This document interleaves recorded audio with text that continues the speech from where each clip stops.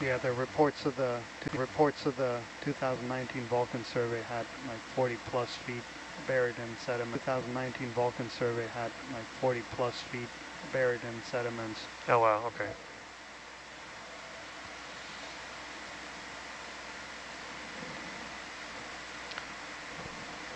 Yeah, we can see that a large section of debris uh, on the other side of the wreck, and then this this is the main part. Yeah, and we see lines of portholes, uh, two lines in the midships, and then a single line above the casemate guns further aft.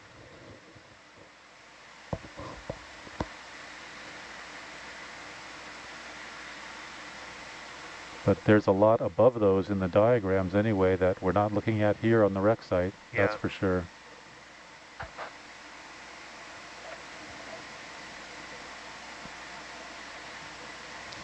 It's kind of amazing that they, they needed to scuttle this um, with, with the amount of damage.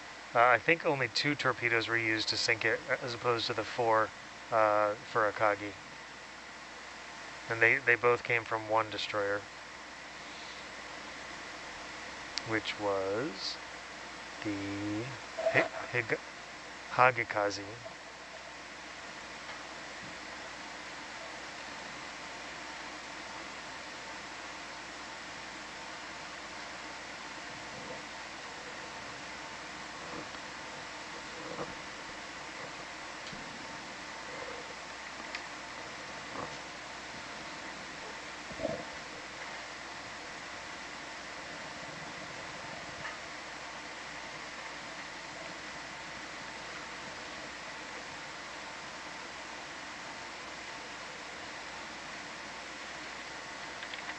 Ed, would you push on that cable? Yeah, you I got it. wonder if that Yep. was one of the arrestor cables. Without scaling lasers, all we have is, uh, I'm sorry, I just don't have control of this lens. Would you like a camera cycle, power cycle? Well, I'm, I'm wondering, uh, just bear with me for a second while I see if I can exercise it, warm it up a little bit. We don't have a bottle temp on a mini Zeus, do we? Bottle temp? Uh, we do. Oh, well, on on the main bottle, but Yeah. not yeah. Mini Zeus itself. Uh, Let me try it again and let it go. That stopped. Letting go. Yeah, maybe we're okay. Now that's attached, I think. Uh, we're going to have to get closer. Oh, run away. Run away. Boy, super hard to tell. And I'm going to bring the sonar scale back to 10. Yeah, sounds good. That Alright. also looked like a second line of portholes. So one above the other, I rather than in here. Maybe we're in here. Yeah, wow. Just a guess. Yeah. Our Holothurian's back. Yeah, same one. I learned to Fo- spot it those. followed us 18 miles. Are there casement guns on this one? Uh, yeah, There there are are. ten of them. Yeah, that's what it looks like. I was just making sure that was interpreting that correctly. Very low. Yeah. So again, a converted um, hull. Battleship hull, was it, Mike? I believe it was a cruiser. Cruiser hull.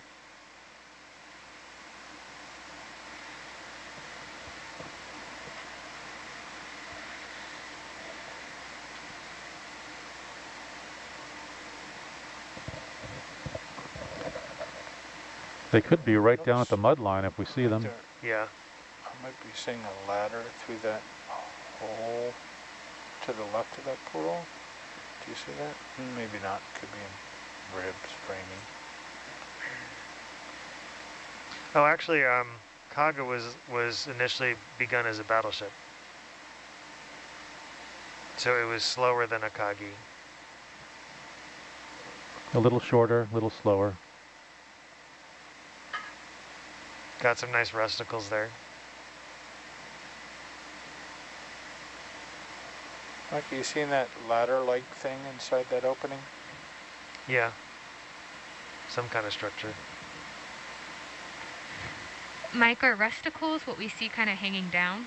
Yeah, so um, that's a term coined by Dr. Ballard when he was uh, on Titanic in uh, 86, I believe.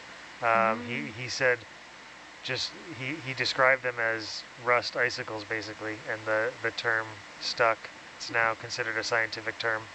Um, and yeah, it's, it's caused by bacteria that are um, consuming the steel. Mm. And, and the uh, the bacteria is named after Titanic too. I forget it's like I forget exactly what it what it is, but Titanic is in the is in the name. Wow. Though I do think they've discovered a couple of different species of bacteria that that do it. Coming out.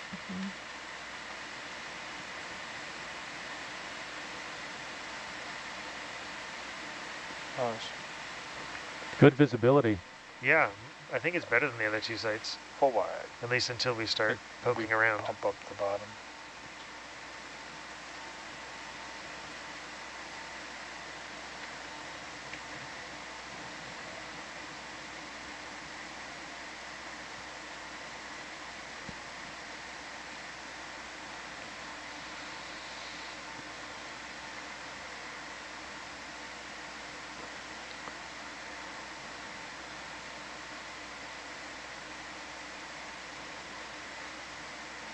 That's excellent visibility. It's almost like the this portion of the wreck lies in a trench where the, the mud was pushed up perhaps by the impact Yeah, it's a trench made by itself.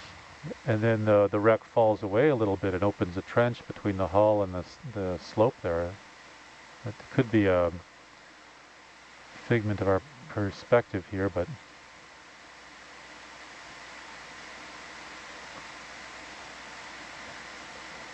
you know what the identifying characteristic of this is as versus the Soryu?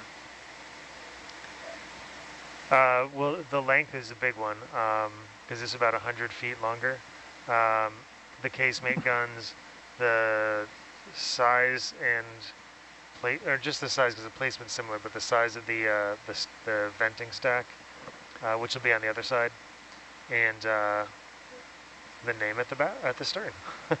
yeah, we were surprised to see the name, pleasantly surprised to see the Akagi at the stern. Was it a welding bead as well as the that had been painted over, I think? It looked like that, yeah, some sort of raised um, metal that, that then Yeah. was painted over. When you see those things in the plan drawings, you never know if they've actually done what the plan has, but we hope to see that at the at, at the aft end here. So just let me know if you get if you want to ship movement.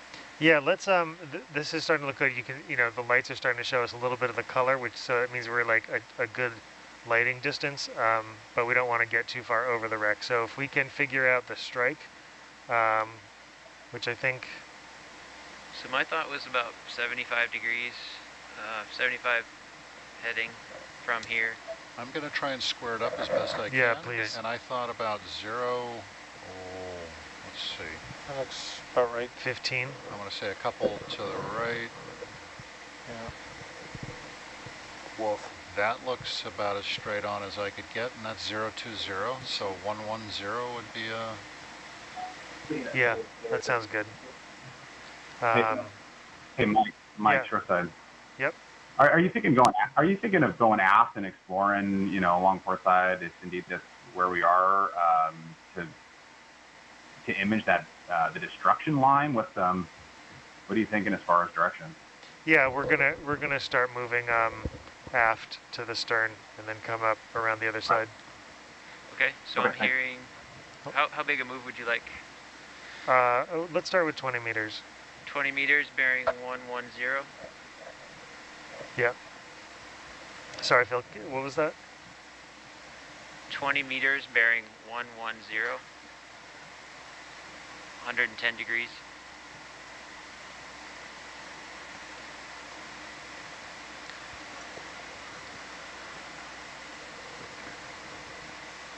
Phil, does that work for you guys?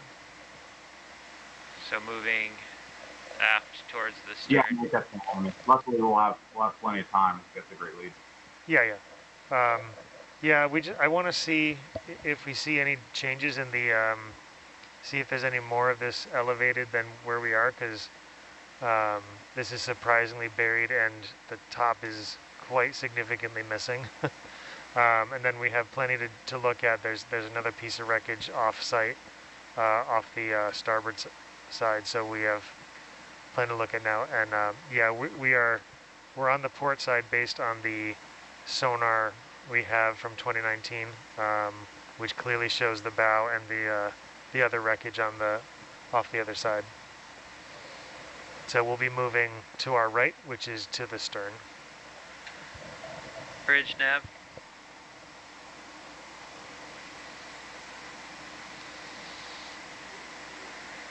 Like to do a ship move, please. Two zero meters, bearing one one zero. Thank you. Mike, do you have a feel for that uh, circular part that comes away from the main part at a 90 degree angle? Two portholes to our starboard. Oh, let me come over. Um, I'm sorry. What what's the question? This object here that appears to come out 90 degrees from the I think it's just a port. Tie off, Oh, oh, oh. Uh, looks like a tie of some sort. Yeah. That might have been what that cable we saw earlier was hooked Yeah, to. could be an anchor point for for cable or yeah. Just to the I left I thought that was a a bit, porthole. you can first. see the cable starts, or it looks Yeah. like it's attached to the deck there. Yeah. Um, yeah. Since we're here, Tito, can we get a zoom Oh, I forgot we can draw on the screen. that object? Yeah. Yeah, and which one would you like to look at? The one on top? Yeah, got it. Uh, just bringing the camera up. That's here. my new favorite feature. This As, control. as we're here.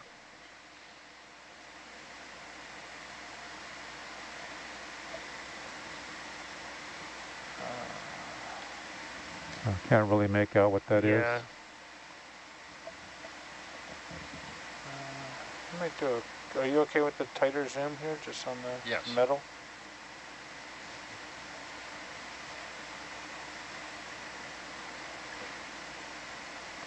And once again, Ed, please take advantage of all the zoom you'd like. I'm flying by altimeter and Yeah. sonar mostly. Copy, thank you. Oh, that's helpful. Not sure what that is. Thank you. Yeah. Uh, I made reference to something a minute ago that I'll explain to the to our viewers. Um, Hans just circled something on the on the screen for the pilots to see. So we're in a new control van relative, or for me at least. It's been a few years, but for me it's a new control van from the one that we used to have. And um, and one of one of the fun features is we have a screen back here in the science row where we can put arrows and draw circles and stuff to to tell the pilots uh, what we want to zoom in on better and video better than just saying no no over there over there over there over there uh, so we're able to circle which is a I think it might be my new favorite feature um, to tell them exactly what sort of uh, sponges or corals we're looking at when we're on the seamounts and uh, it just helps with communication Uh, this is Tito in the front row. I love that. Uh, Yeah. You know, having done so many dives and so much time piloting, really wish we had that. Or we just yelling at Instead you of scientists with a stick pointing at the screen. yeah Yeah. And actually I forgot about it until Hans circled it I was like oh yeah we can do that We actually still have the stick of pointing here. I if bet you will. do. Want to go old? We do. yeah, Stick It's always a good backup. but that uh, device is a telestrator. You frequently see it used on uh, sporting broadcasts. yeah it's great We have Mia to thank for that. Just a shout out to the 0 to 4 a.m. watch. So, um, yeah, thank you, John. He's pointing out that it's looking like it's the bulge at the water line, and we're very low down.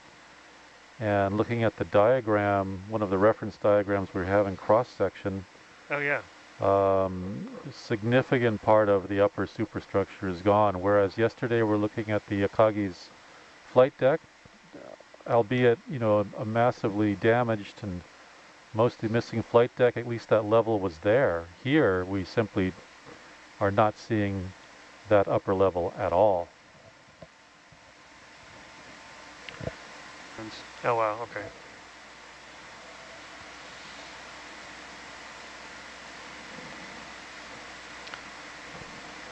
Yeah, we can see that a large section of debris uh, on the other side of the wreck, and then this this is the main part.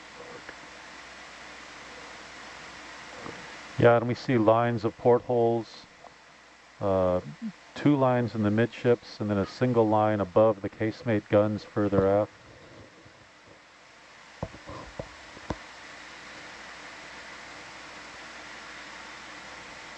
But there's a lot above those in the diagrams anyway that we're not looking at here on the wreck site, that's for sure.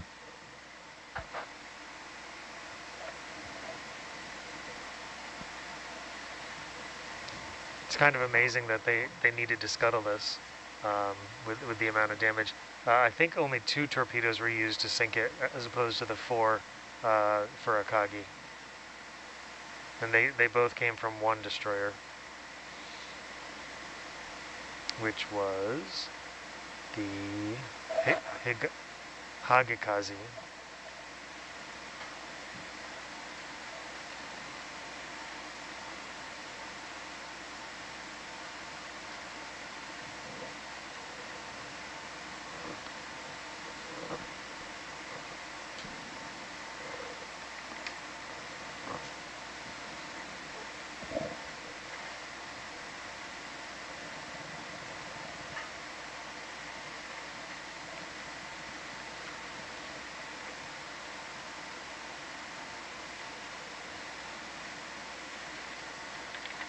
Ed, would you push on that cable? Yeah, you I got it. wonder if that Yep. was one of the arrestor cables. Without scaling lasers, all we have is, uh, I'm sorry, I just don't have control of this lens. Would you like a camera cycle, power cycle? Well, I'm, I'm wondering, uh, just bear with me for a second while I see if I can exercise it, warm it up a little bit.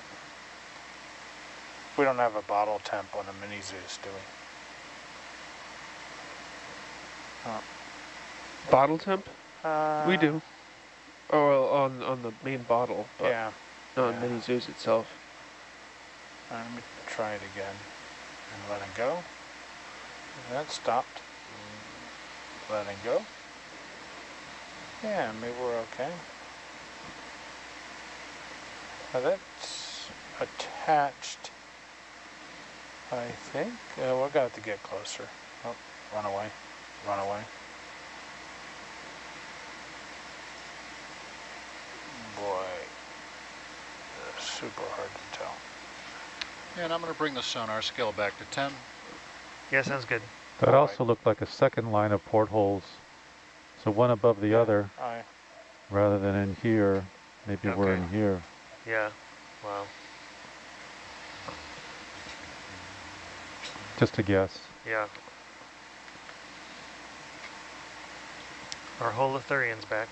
Yeah, Same one. I've learned Fo- to it spot followed those. us 18 miles.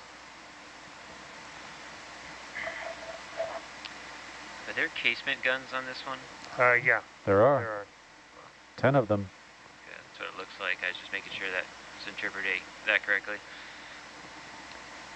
Very low. Yeah. So again, a converted um, hull. Battleship hull, was it, Mike? I believe it was a cruiser. Cruiser hull.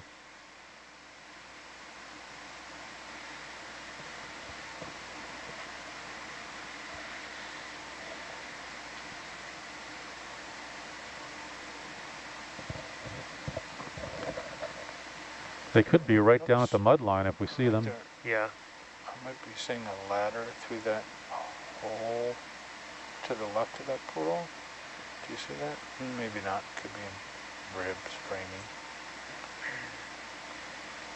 Oh, actually, um, Kaga was was initially begun as a battleship, so it was slower than Akagi. A little shorter, a little slower. Got some nice rusticles there. Mike, you seen that ladder-like thing inside that opening? Yeah. Some kind of structure. Mike, are rusticles what we see kind of hanging down? Yeah, so um, that's a term coined by Dr. Ballard when he was uh, on Titanic in uh, 86, I believe. Um, he, he said just, he, he described them as rust icicles basically, and the, the term stuck. It's now considered a scientific term. Um, and yeah, it's, it's caused by bacteria that are um, consuming the steel. Mm. And, and the uh, the bacteria is named after Titanic too. I forget. It's like I forget exactly what it what it is, but Titanic is in the is in the name. Wow. Though I do think they've discovered a couple of different species of bacteria that that do it. Coming out. Mhm.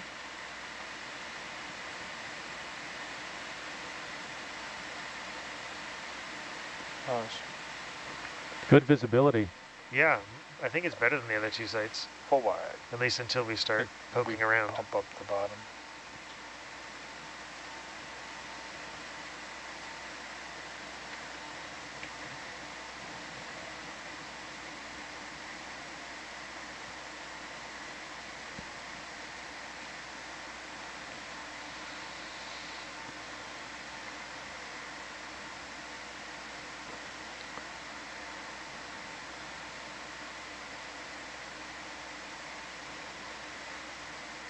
That's excellent visibility. It's almost like the this portion of the wreck lies in a trench where the, the mud was pushed up perhaps by the impact Yeah, it's a trench made by itself.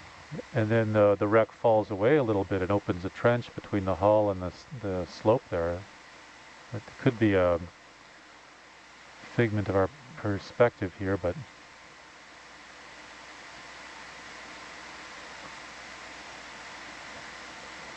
you know what the identifying characteristic of this is as versus the Soryu? Uh, well, the length is a big one because it's about 100 feet longer. Um, the casemate guns, the size and plate, or just the size because the placement's similar, but the size of the uh, the, the venting stack, uh, which will be on the other side, and uh, the name at the at the stern.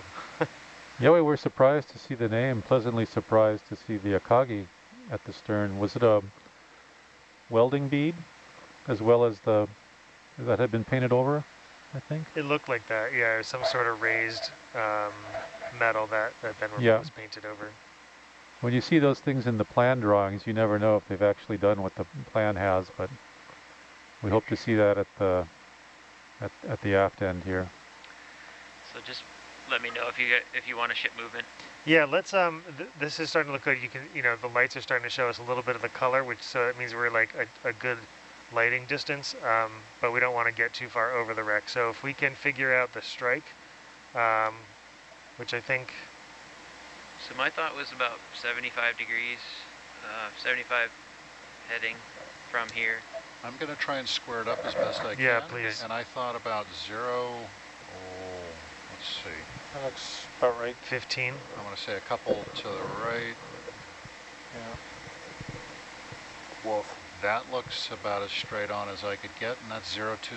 So 110 would be a, yeah, that sounds good. Hey, Um, Hey, Mike, Mike Yeah. Shoreside. Yep. Are, are you thinking going? Are you thinking of going aft and exploring? You know, along port side, if indeed that's where we are, um, to to image that uh, the destruction line with um. What are you thinking as far as direction? yeah, we're gonna, we're gonna start moving, um, aft to the stern and then come up around the other side. Okay, so Okay, I'm hearing. How, how big a move would you like? Uh, oh, let's start with 20 meters. 20 meters bearing 110. Sorry, Phil, what was that? 20 meters bearing 110. 110 degrees.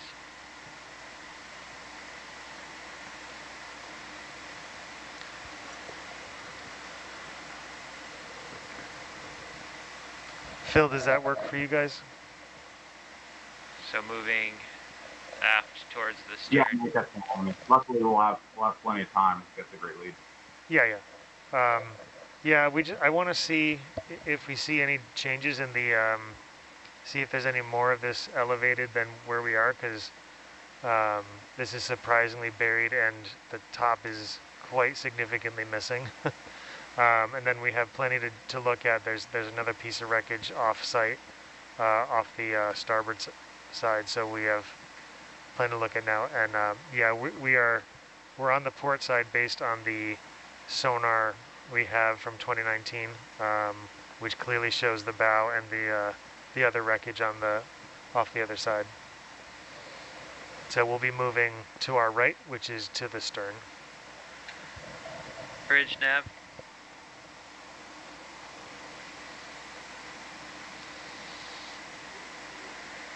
Like to do a ship move, please. Two zero meters, bearing one one zero. Thank you. Mike, do you have a feel for that uh, circular part that comes away from the main part at a 90 degree angle? Two portholes to our starboard. Oh, let me come over. Um, I'm sorry. What what's the question? This object here that appears to come out 90 degrees from the I think it's just a port. Tie off, Oh, oh, oh. Uh, looks like a tie of some sort. Yeah. That might have been what that cable we saw earlier was hooked Yeah, to. could be an anchor point for for cable or yeah. Just to the I left I thought that was a his bit, porthole. you can first. see the cable starts, or it looks Yeah. like it's attached to the deck there. Yeah. Um, yeah. Since we're here, Tito, can we get a zoom Oh, I forgot we can sorry. draw on the screen. that object? Yeah. Yeah, and which one would you like to look at? The one on top? Yeah, got it. Okay, just bringing the camera up. That's here. my new favorite feature. This As control. as we're here.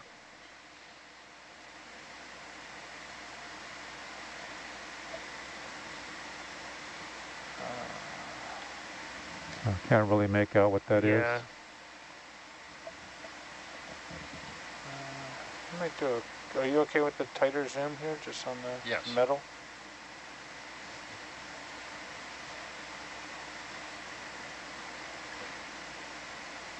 And once again, Ed, please take advantage of all the zoom you'd like. I'm flying by altimeter and Yeah. sonar mostly. Copy, thank you. Oh, that's helpful. Not sure what that is. Thank you. Yeah.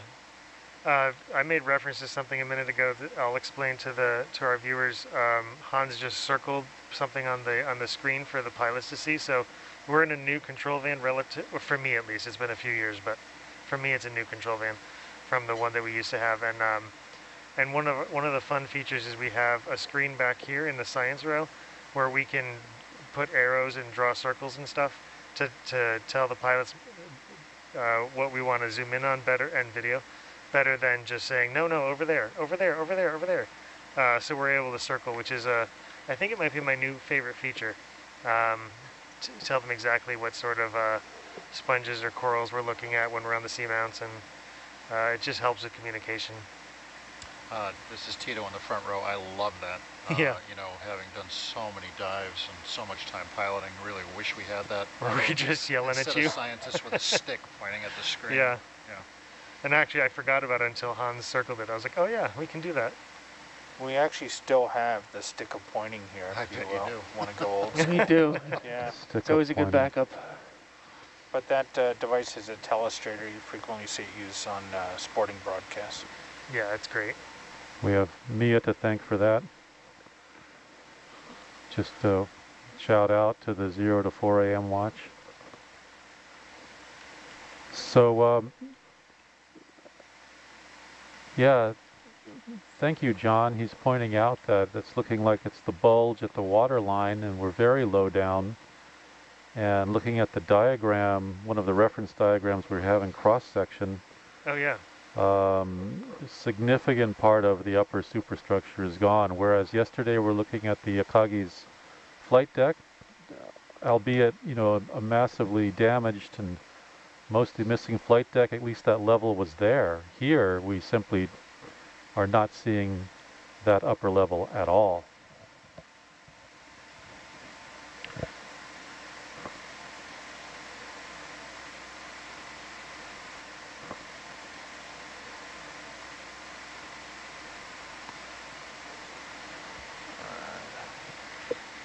Can we zoom in the interior? Uh, since we're here?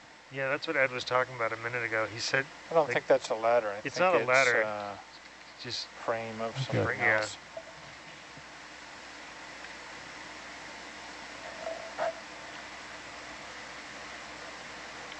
Yeah. oh, there's an anemone. He was actually on the hull. It probably thinks it's special. It does. And what about this line that's running horizontally from left to right with a break right at this point? Is that a degaussing line? It could be one of my favorite features of degaussing wire. One one of the new things that I I learned about just the other day. All right, coming out.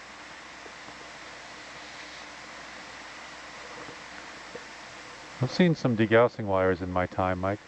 Oh yeah. um, Yeah. Just uh, for for Derek and the pilots, just uh, FYI, this is kind of like the perfect uh, distance off the wreck. Uh, we're able to light it well enough, uh, but also not be over the site. So I know that moving our ship moves are difficult once we get get going, but uh, this is this is kind of the sweet spot that we want to try to be at. Understood. Yeah, we'll try to stay that distance if we can.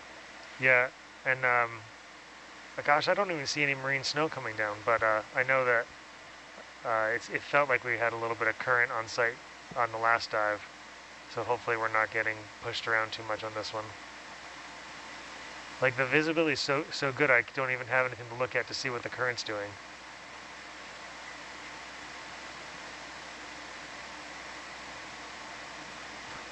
A lot of times those degaussing wires are in, in parallel, two or three, around the whole ship. I've, this is single, but maybe that is what it is. It's also underneath the portholes, which isn't really where that would would have been. Eh, it's, yeah, it's generally pretty low down, but Yeah, we're probably at the lowest level anyway.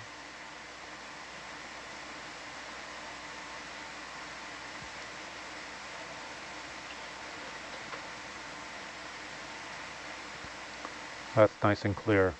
Yeah. I'm going to say we're right around five meters away. Yeah, that's a good spot.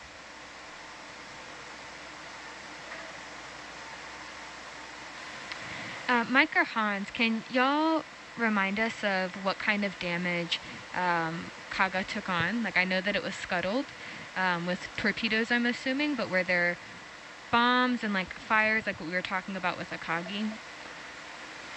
Oh yeah, definitely. Um, you know, it's in the confusion of battle. It's it's hard for um, pilots to you know always confirm whether they have a hit or a near miss. But Mhm. uh, ultimately, when putting together all those reports and and firsthand evidence, we're looking at you know a number of bombs that struck the flight deck. The Kaga was hit early and there are maybe four 500 bombs um, that struck the deck and a 1,000 pound bomb as well. So multiple direct hits on the flight deck, igniting the fires, damaging the fire suppression system, um, wreaking havoc, Wow. really. Terrible fires. I think the majority of people who were lost were trapped down in the lower decks by the fires above them Mm. in the hangar decks, and that's that's a terrible fate.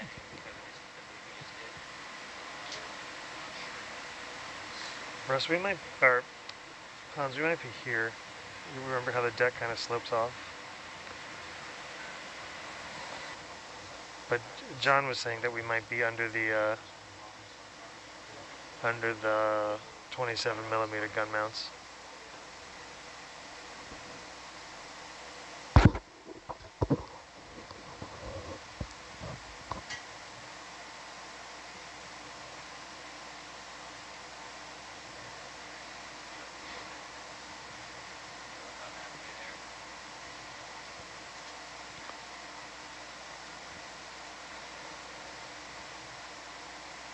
Yeah, thank you, John. The, the, um, we're still getting oriented and seeking to confirm our location along the ship.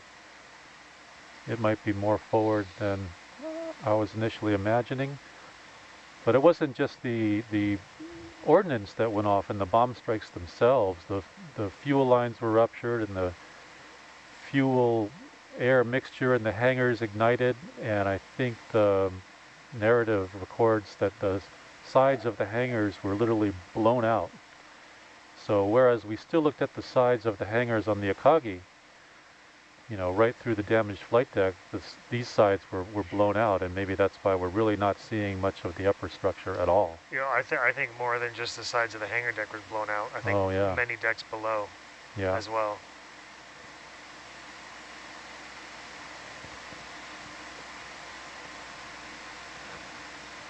Yeah, so we're roughly halfway through that 20 meter move, so we've moved about 10 meters um, aft along Yeah, the the port side. yeah the vehicle's going to take a minute to follow because we haven't moved at all.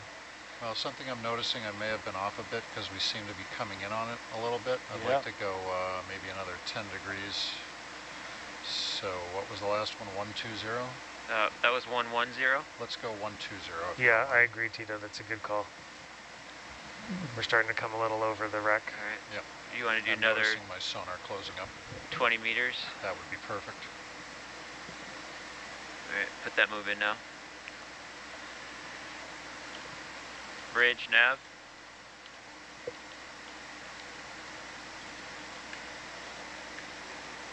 I'd like to do a move 20 meters, bearing 120. Thank you. So we're getting some input from our um, our colleagues on shore, trying to figure out where we are. If we are where we're suggesting, we might we might be able to still see the casemate guns like we saw on Akagi, and they, they might come up pretty soon as we head aft. Or maybe just the tops of them. We'll Yeah. see.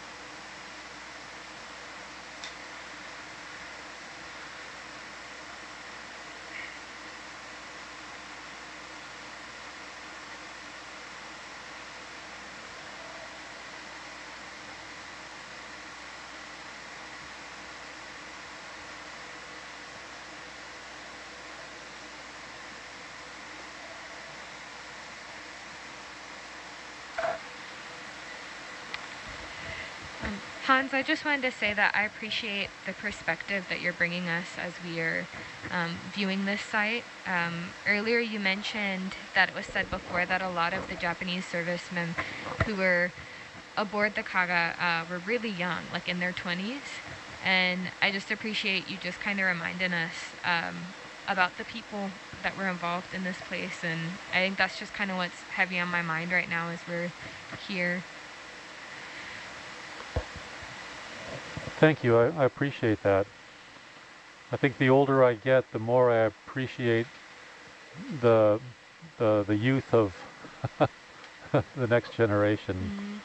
My my daughter's 30.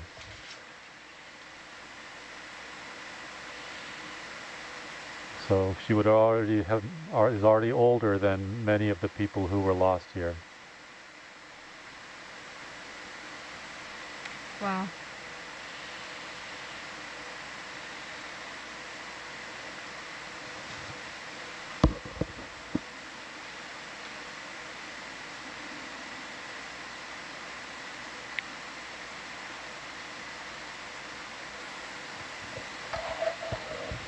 So just a moment to mention uh, for for folks that are, are regular followers of our, our ROV dives, um, Coming in. we are not diving with vehicle Hercules today. We're diving with our um, vehicle Atalanta.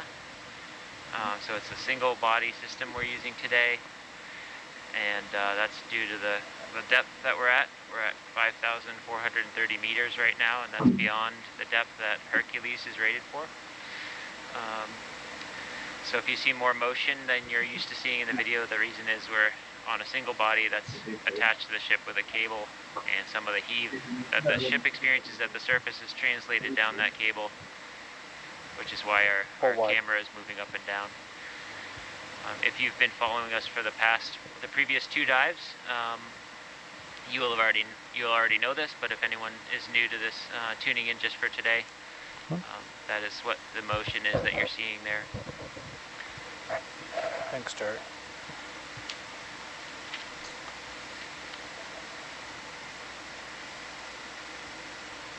And as much as I would Yeah. love to be here with a uh, RV like Hercules or Little Herc, I'm quite surprised uh, at the quality of the images we're able to get from Atalanta. Uh, I, I was, yeah, I'm very pleasantly surprised at um, the level of, of uh, imagery we've been able to get on these sites. Uh, there's no shortage of effort required over here to keep this in focus as we bounce up and down. Has Atalanta ever been used before as a single body system like this on dives? We did a dive, one dive with Atalanta. Might have been this year at Shake. I think it was last year uh, before the season, just to spin out the cable and test it. I believe it could have been different. Actually, it might have been way back, like 2019. Uh, if that answers your question. Yeah, and was that to like test the cable specifically Um, or test Atalanta's? We try and get the cable deep at the start of the season to spin out Mhm. any turns it would have in it, like it would accumulate with a garden hose. hmm And I think Atalanta was maybe new to us at that point, so we wanted to do a deeper dive with it. Can we rotate to the left, Tito? Yep, coming over. Oh, like, Yeah, and, and uh, often, oftentimes, uh, when Hercules is diving, it's diving with Argus as its companion vehicle. And this this field season, we've been using Wow. Atalanta. Yeah, Sebastian just pointed out something to me that uh, on the diagram of the bomb hits, and if we are where we think we are, aft of midships, aft of the tower, but still forward of the casemate guns, we're in the general area of a strike on the flight deck. Of course, that flight deck is gone. All of that above structure is gone. But that strike was on the port side in our general area of the thousand pound bomb dropped by George Goldsmith from VB6. And so I'm just wondering, it could be that we're looking at the results of that in that deep pit. Shoreside, do you think we're we're looking at perhaps some of that? Hans, absolutely. You know, tracking some of the battle damage and, you know, looking at where Goldsmith's hit was. I mean, it was the only one, at least from drawings that we're looking at, that was clearly on port side. So, you know, with most of the damage from two, potentially three major hits, albeit 500 pound bombs, but still, those were all situated around the island. So seeing this kind of damage from from port side just after midship, yeah, certainly certainly could be related to that hit, which was um, the, there's the uh, last strike. off to starboard still. There's, uh, I don't know how to describe it, like some a part that has fallen off to the side. You can still see where it's attached.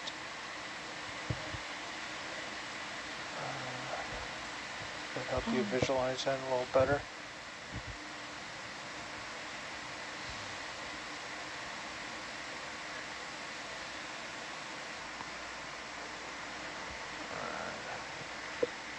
Can we zoom in the interior? Uh, since we're here? Yeah, that's what Ed was talking about a minute ago. He said I don't Like, think that's a ladder. I it's think not a it's, ladder. Uh, just frame of Okay. something Yeah. else.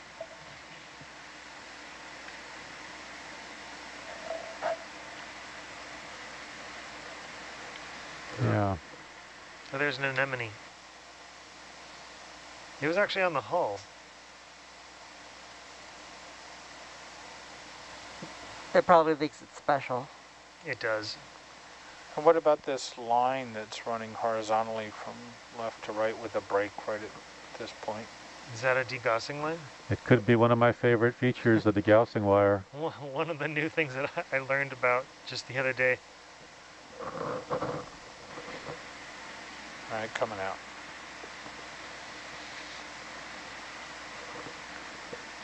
I've seen some degaussing wires in my time, Mike. Oh yeah. um, Yeah. Just uh, for for Derek and the pilots, just uh, FYI, this is kind of like the perfect uh, distance off the wreck.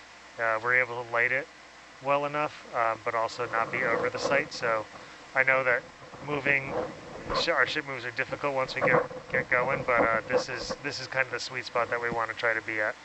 Understood. Yeah, we'll try to stay that distance if we can. Yeah, and um, gosh, I don't even see any marine snow coming down, but uh, I know that uh, it felt like we had a little bit of current on site on the last dive, so hopefully we're not getting pushed around too much on this one. Like the visibility is so so good, I don't even have anything to look at to see what the current's doing.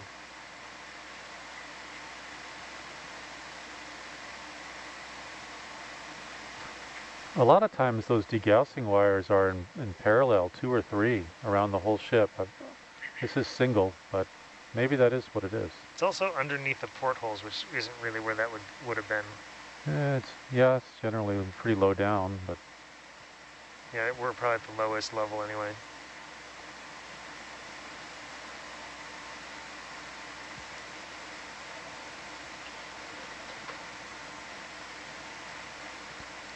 that's nice and clear. Yeah. I'm going to say we're right around five meters away. Yeah, that's a good spot.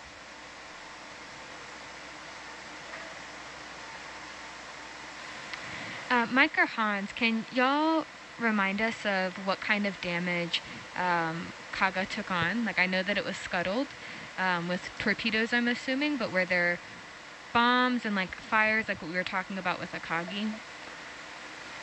Oh yeah, definitely. Um, you know, it's in the confusion of battle. It's it's hard for um, pilots to you know always confirm whether they have a hit or a near miss. But Mhm. uh, ultimately, when putting together all those reports and and firsthand evidence, we're looking at you know a number of bombs that struck the flight deck. The Kaga was hit early and there are maybe four 500 bombs um, that struck the deck and a 1,000 pound bomb as well. So multiple direct hits on the flight deck, igniting the fires, damaging the fire suppression system, um, wreaking havoc, Wow. really. Terrible fires.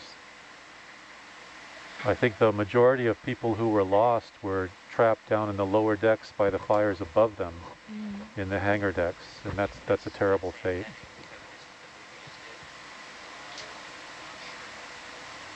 Russ, we might, or Hans, we might be here. You remember how the deck kind of slopes off? But John was saying that we might be under the, uh, under the 27 millimeter gun mounts.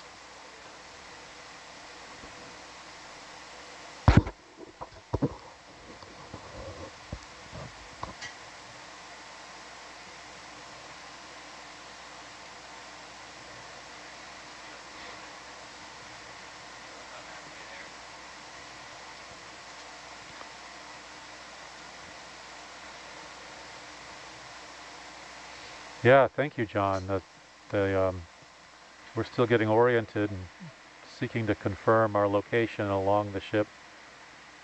It might be more forward than I was initially imagining, but it wasn't just the the ordnance that went off and the bomb strikes themselves. The, the fuel lines were ruptured and the fuel air mixture in the hangars ignited and I think the narrative records that the sides of the hangars were literally blown out. So whereas we still looked at the sides of the hangars on the Akagi, you know, right through the damaged flight deck, this, these sides were, were blown out, and maybe that's why we're really not seeing much of the upper structure at all. You know, I, th I think more than just the sides of the hangar deck was blown out. I think Oh, yeah. many decks below Yeah. as well.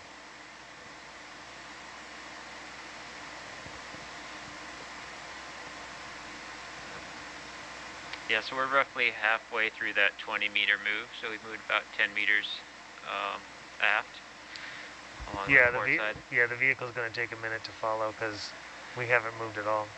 Well, something I'm noticing, I may have been off a bit because we seem to be coming in on it a little bit. I'd Yep. like to go uh, maybe another 10 degrees. So what was the last one? 120? Uh, that was 110. Let's go 120. if you Yeah, I agree, Tito. That's a good call. Mm-hmm. We're starting to come a little over the wreck. All right. Yep. You want to do I'm another noticing my sonar closing up. 20 meters? That would be perfect. All right, put that move in now. Bridge nav.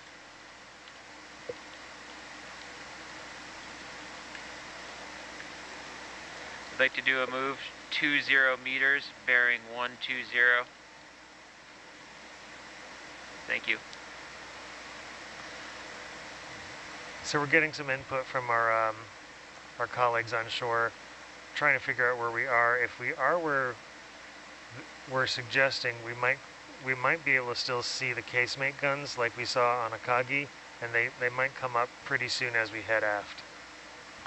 Or maybe just the tops of them. We'll Yeah. see.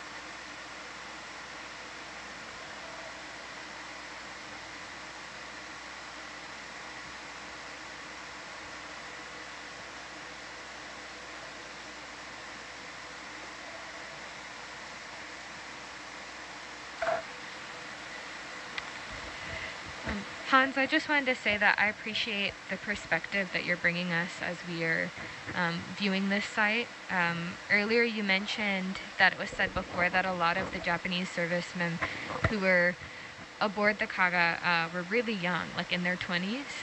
And I just appreciate you just kind of reminding us um, about the people that were involved in this place. And I think that's just kind of what's heavy on my mind right now as we're here. Thank you. I, I appreciate that. I think the older I get, the more I appreciate the the the youth of the next generation. Mhm. My my daughter's 30.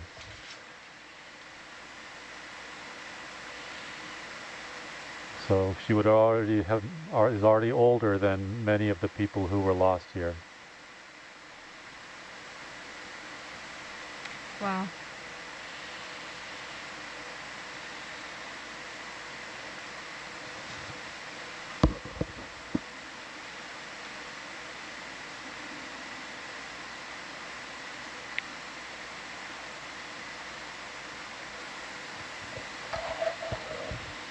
Just a moment to mention uh, for for folks that are, are regular followers of our, our ROV dives, um, we're not diving with vehicle Hercules today. We're diving with our um, vehicle Atalanta. Um, so it's a single body system we're using today, and uh, that's due to the, the depth that we're at. We're at 5,430 meters right now, and that's beyond the depth that Hercules is rated for. Um, so if you see more motion than you're used to seeing in the video, the reason is we're on a single body that's attached to the ship with a cable, and some of the heave that the ship experiences at the surface is translated down that cable, which is why our, our Oh, camera is moving up and down.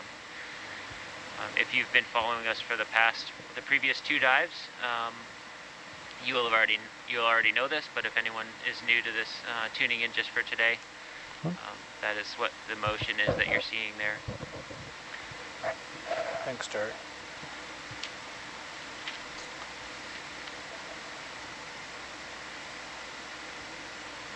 And as much as I would Yeah. love to be here with a uh, RV like Hercules or Little Herc, I'm quite surprised uh, at the quality of the images we're able to get from Atalanta. Uh, I, I was, yeah, I'm very pleasantly surprised at um, the level of, of uh, imagery we've been able to get on these sites. Uh, there's no shortage of effort required over here to keep this in focus as we bounce up and down. Has Atalanta ever been used before as a single body system like this on dives? We did a dive, one dive with Atalanta. Might have been this year at Shake. I think it was last year at Sh- uh, before the season, just to spin out the cable and test it. I believe it could have been different. Actually, it might have been way back, like 2019. Uh, if that answers your question. Yeah, and was that to like test the cable specifically Um, or test Atalanta's? We try and get the cable deep at the start of the season to spin out Mhm. any turns it would have in it, like it would accumulate with a garden hose. hmm And I think Atalanta was maybe new to us at that point, so we wanted to do a deeper dive with it. Can we rotate to the left, Tito? Yep, coming over. Pull light. And and uh, often oftentimes uh, when Hercules is diving, it's diving with Argus as its companion vehicle. And this this field season, we've been using Wow. Atalanta. Yeah, Sebastian just pointed out something to me that uh, on the diagram of the bomb hits, and if we are where we think we are, aft of midships, aft of the tower, but still forward of the casemate guns, we're in the general area of a strike on the flight deck. Of course, that flight deck is gone. All of that above structure is gone. But that strike was on the port side in our general area of the thousand pound bomb dropped by George Goldsmith from VB6. And so I'm just wondering, it could be that we're looking at the results of that in that deep pit. Shoreside, do you think we're we're looking at perhaps some of that? Hans, absolutely. You know, tracking some of the battle damage and, you know, looking at where Goldsmith's hit was. I mean, it was the only one, at least from drawings that we're looking at, it was clearly on port side. So, you know, with most of the damage from two, potentially three major hits, albeit 500 pound bombs, but still, those were all situated around the island. So seeing this kind of damage from from port side just after midship, yeah, certainly certainly could be related to that hit, which was um, the, the uh, last strike. off to starboard still. There's uh, I don't know how to describe it. Like some a part that has fallen off to the side. You can still see where it's attached. Uh, that help you visualize that a little better?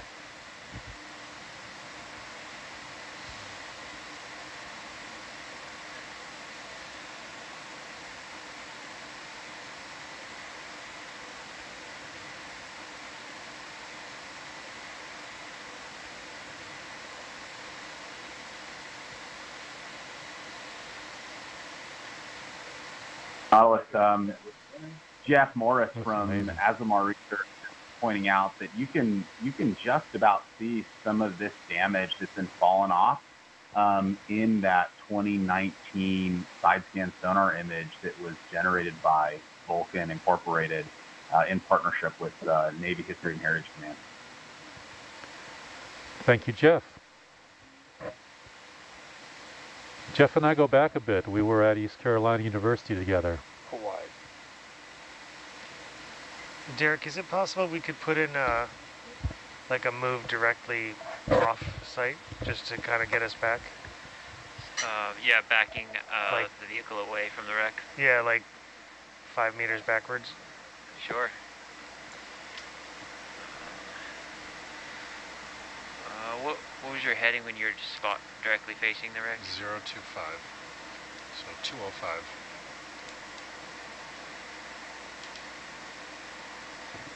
Thank you. Yeah, do you think five meters backing off will be enough? Yeah.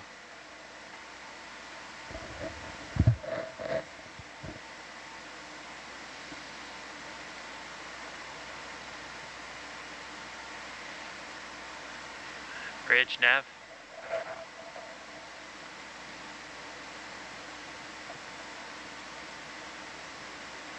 We'd like to do a ship move five meters, bearing 205.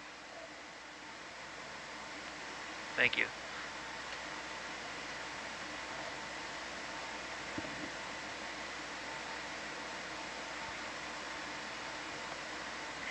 Yeah. Once we do that, we can um we can continue moving. Uh, was it one two zero? Yeah, where's, where's 110? Looks like 120 might be a little better. Before the other guy went NDA. Hey, Nautilus, um, ECC here. Uh, just checking in to see if we can't uh, confirm comms with my co-lead scientist ashore, Dr. James Delgado. Jim, can you hear us okay and, uh, and get on the line?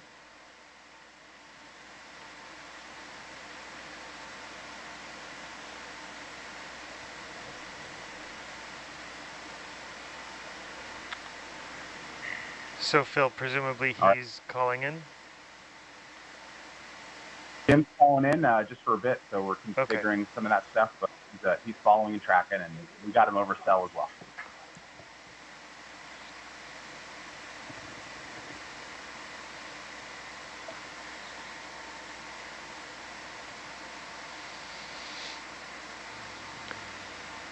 Thank you again, John Parshall ashore. We're reading your notes online, and uh, you're right. This is pretty low down, so uh, it might be hard to say if the bomb hit did this, or subsequent explosions continued the damage further down to these lower decks. We're so low that we're we might be looking at the engineering spaces at the very bottom of the ship.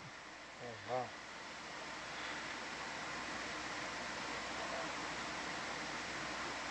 Hey, Nautilus, do you see some of the curvature there on that, on that coaming just in the center of view? I mean,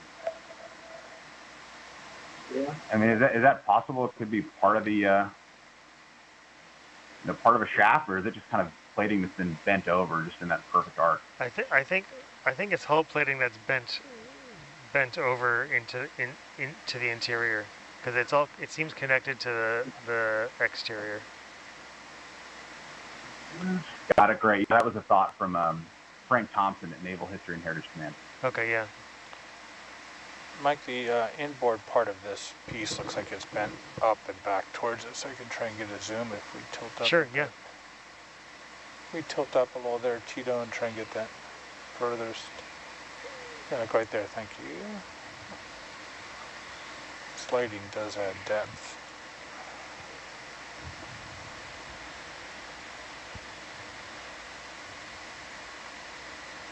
I kind of top of frame right now.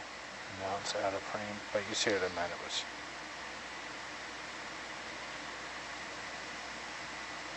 that part right there. All right, coming out.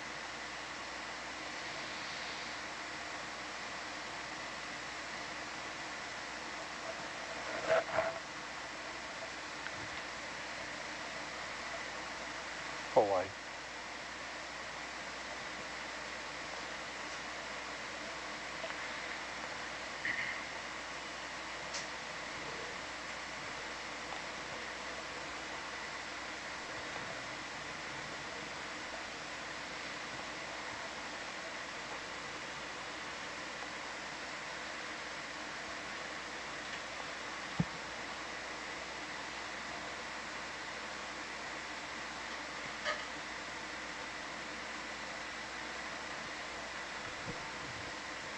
Oh yeah, so John's uh, uh, guessing that there's there were some openings along the along not the uh, it's not the hangar deck, but one of the decks, um, and this could be like the space between them, and we're seeing the underside of these openings. It's possible.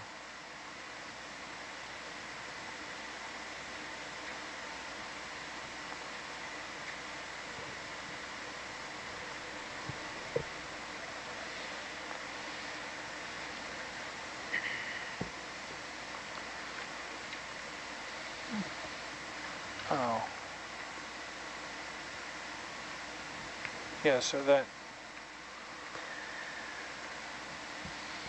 Hmm. I'll have to look at it later. I don't want to look down now. Derek, our move should be taking us off to starboard. Should be. ROV starboard. Uh, yeah.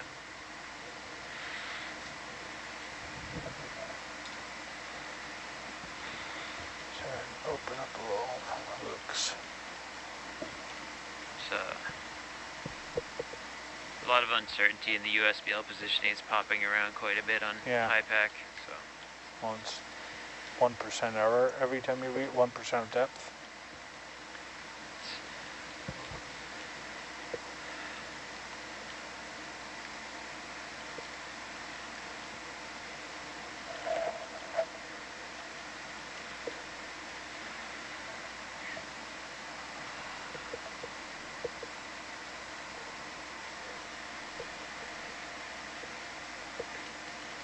Yikes.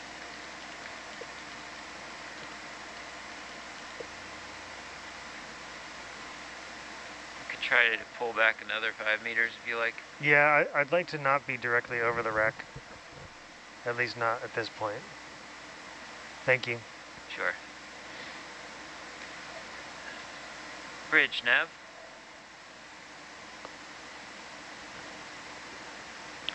Like to do a ship move five meters, bearing 205. Thank you. That's always a good point. You know, just because it's flat in this area doesn't mean that there aren't obstructions and higher prominent structure Yeah. fore or aft. And in fact, often in underwater archaeology, the strongest parts of the hulls are the the the bow and the stern, given their triangular construction. So sometimes you see those prominent on the seafloor. In the middle, you'll have boilers or engines, Yeah. everything else being flattened.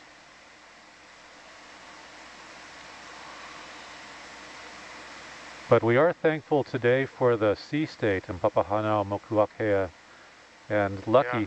because dives to this depth mean that we deploy so much cable, so much weight, that the weather window for conducting a survey like this is very narrow and the conditions have to be just right.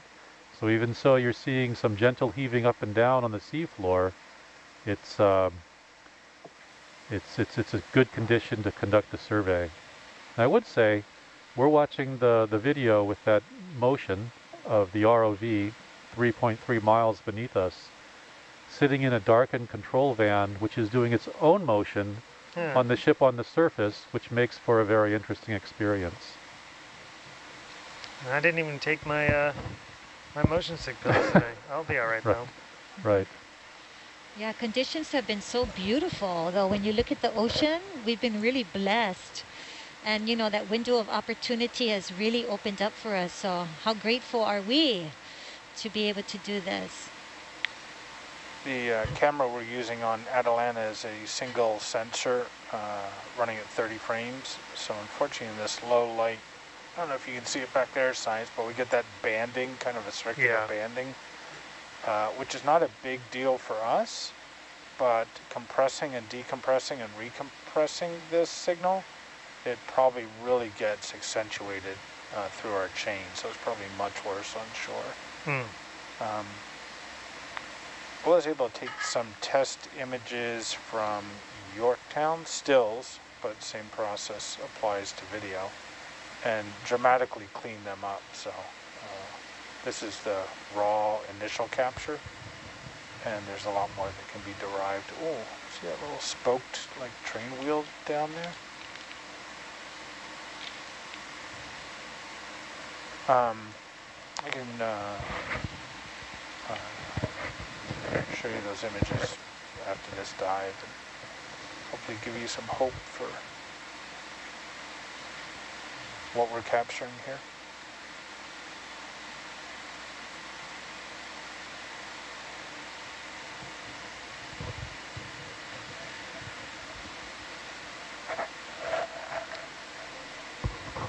And I'm just going to come up a bit in case we're going over this. Yeah.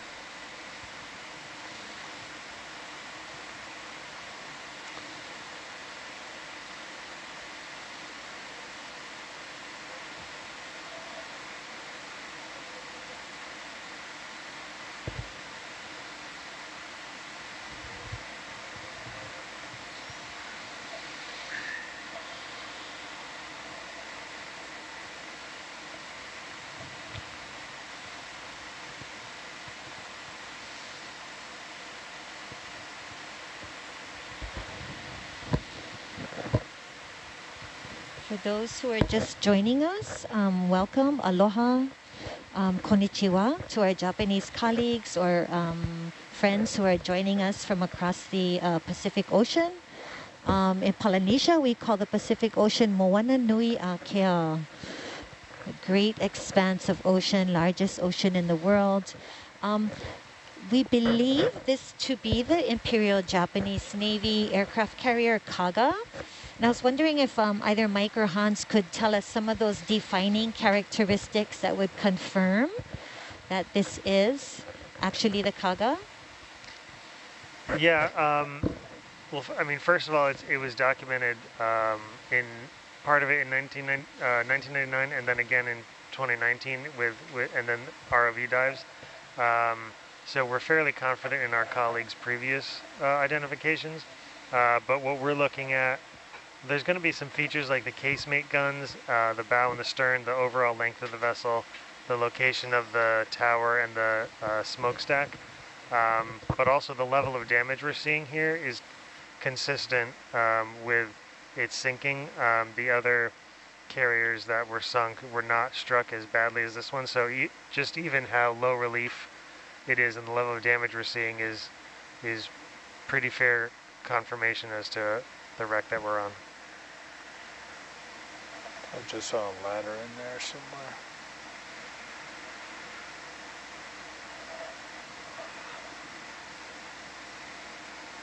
Ed always thinking he's seeing ladders, huh? Yeah. Anytime I see a 90, with Yeah. three or four of them in a row. And can you remind us where we are or what part of the ship that we're looking at right now? Are we towards the bow or the stern? Do we know? Uh, we think we're about almost exactly amidships, honestly. Mhm. Um, we're still working on that. We've, we've only uh, moved a little ways since since acquiring the wreck, so it's going to take a little bit longer before we can truly dial in where we are.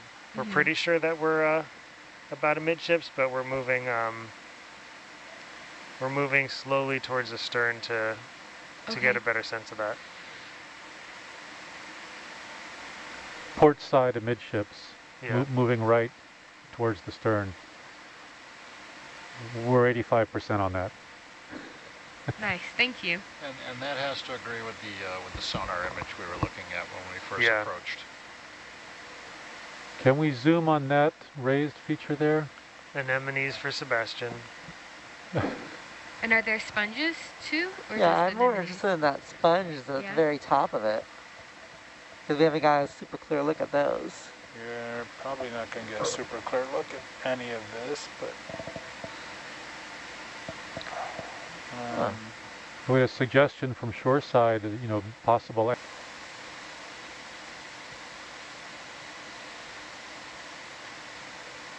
Nautilus, um, Jeff Morris That's from amazing. Azamar Research pointing out that you can you can just about see some of this damage that's been fallen off um, in that 2019 side scan sonar image that was generated by Vulcan Incorporated uh, in partnership with uh, Navy History and Heritage Command. Thank you, Jeff.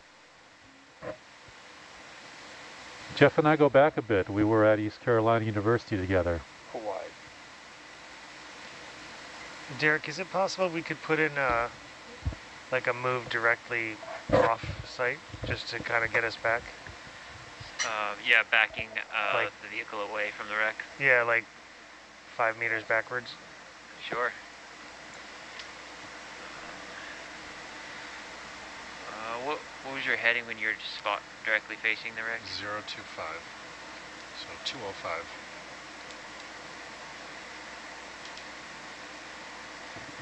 Thank you. Yeah, do you think five meters backing off will be enough? Yeah.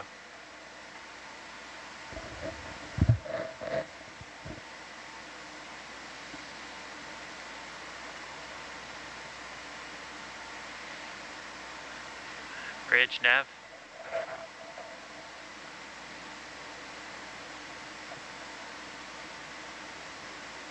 We'd like to do a ship move five meters, bearing 205.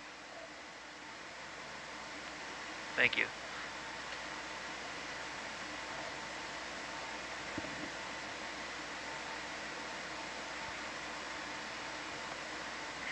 Yeah.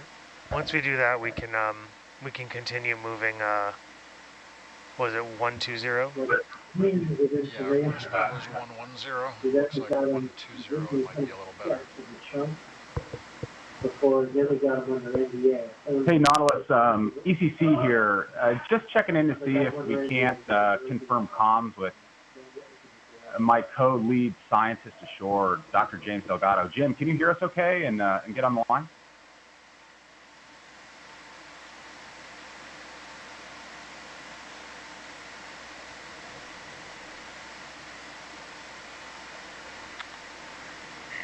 So Phil, presumably All right. he's calling in. Jim's calling in uh, just for a bit, so we're Okay. configuring some of that stuff, but he's, uh, he's following and tracking, and we got him over cell as well.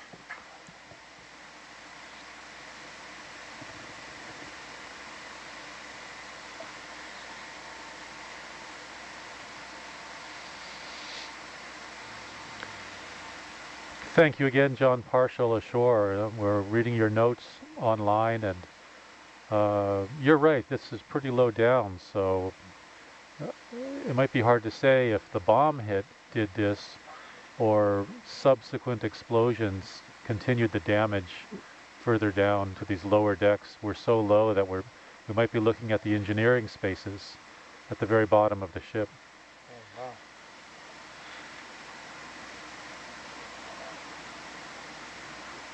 Hey, Nautilus, do you see some of the curvature there on that on that coaming just in the center of view? I mean, Yeah. I mean, is that is that possible? It could be part of the uh, you know, part of a shaft, or is it just kind of plating that's been bent over, just in that perfect arc? I think I think I think it's hull plating that's bent bent over into in into the interior because it's all it seems connected to the the exterior. Got it. Great. That was a thought from um, Frank Thompson at Naval History and Heritage Command. Okay, yeah. Mike, the uh, inboard part of this piece looks like it's bent up and back towards it, so I can try and get a zoom if we tilt up. Sure, yeah. We tilt up a little there, Tito, and try and get that furthest. Yeah, like right there, thank you. Slating does add depth.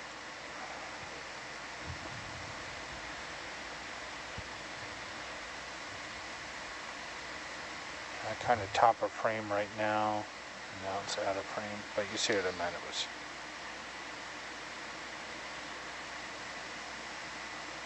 that part right there. All right, coming out.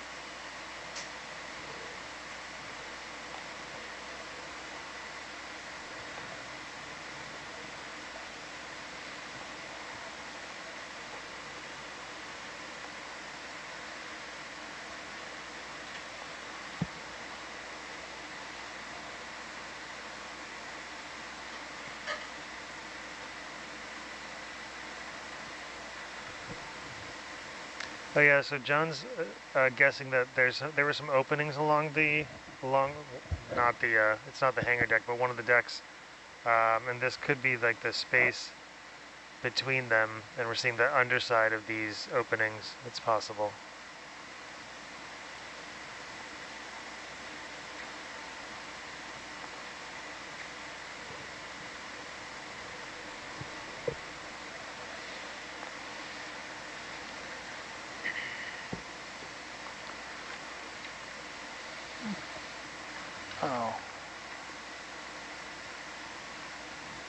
Yeah, so that.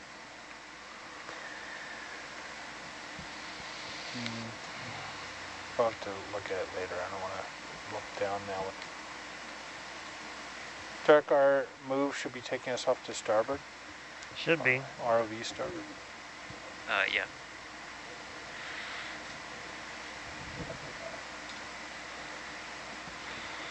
Sorry, open up a little. Looks. So, a lot of uncertainty in the USBL positioning. is popping around quite a bit on Yeah. HiPAP. So, Once. 1% error every time you read 1% of depth.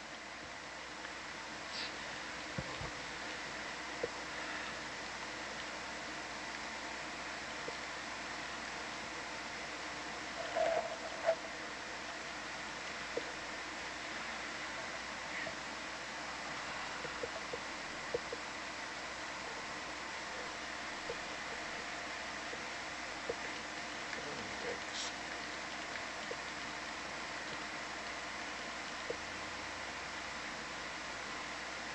I could try to pull back another five meters if you like. Yeah, I, I'd like to not be directly over the wreck. At least not at this point. Thank you. Sure. Bridge, Nav.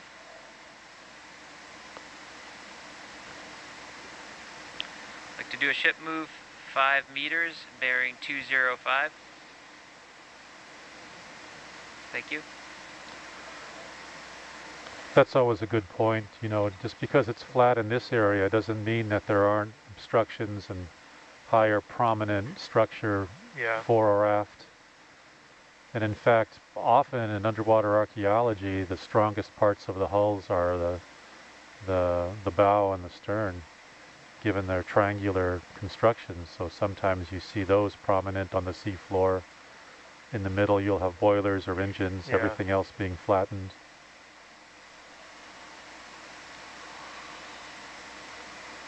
But we are thankful today for the sea state in Papahānaumokuākea and lucky Yeah. because dives to this depth mean that we deploy so much cable, so much weight, that the weather window for conducting a survey like this is very narrow and the conditions have to be just right. So even so you're seeing some gentle heaving up and down on the seafloor, it's, um, it's, it's, it's a good condition to conduct a survey. And I would say we're watching the, the video with that motion of the ROV 3.3 miles beneath us, sitting in a darkened control van, which is doing its own motion Yeah. on the ship on the surface, which makes for a very interesting experience. I didn't even take my uh, my motion sick pills today. I'll be all right Right. though. Right. Yeah, conditions have been so beautiful. Though when you look at the ocean, we've been really blessed. And you know, that window of opportunity has really opened up for us. So how grateful are we to be able to do this? The uh, camera we're using on Atalanta is a single sensor uh, running at 30 frames. So unfortunately in this low light, I don't know if you can see it back there, science, but we get that banding, kind of a circular Yeah. banding, uh, which is not a big deal for us, but compressing and decompressing and recompressing this signal, it probably really gets accentuated uh, through our chain. So it's probably much worse on shore. Hmm. Um, I was able to take some test images from Yorktown stills, but same process applies to video, and dramatically clean them up. So uh, this is the raw initial capture, and there's a lot more that can be derived. Oh, see that little spoked like train wheel down there? Um, I can uh, uh, show you those images after this dive and hopefully give you some hope for what we're capturing here.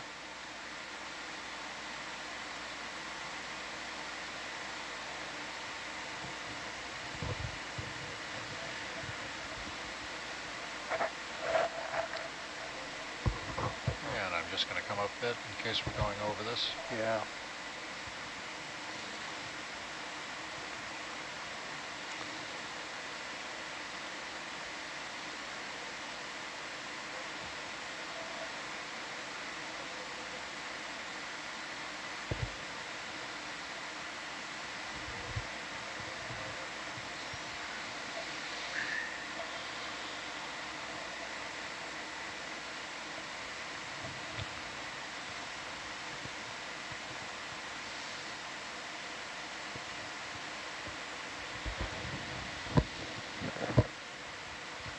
For those who are just joining us, um, welcome, aloha, um, konnichiwa to our Japanese colleagues or um, friends who are joining us from across the uh, Pacific Ocean.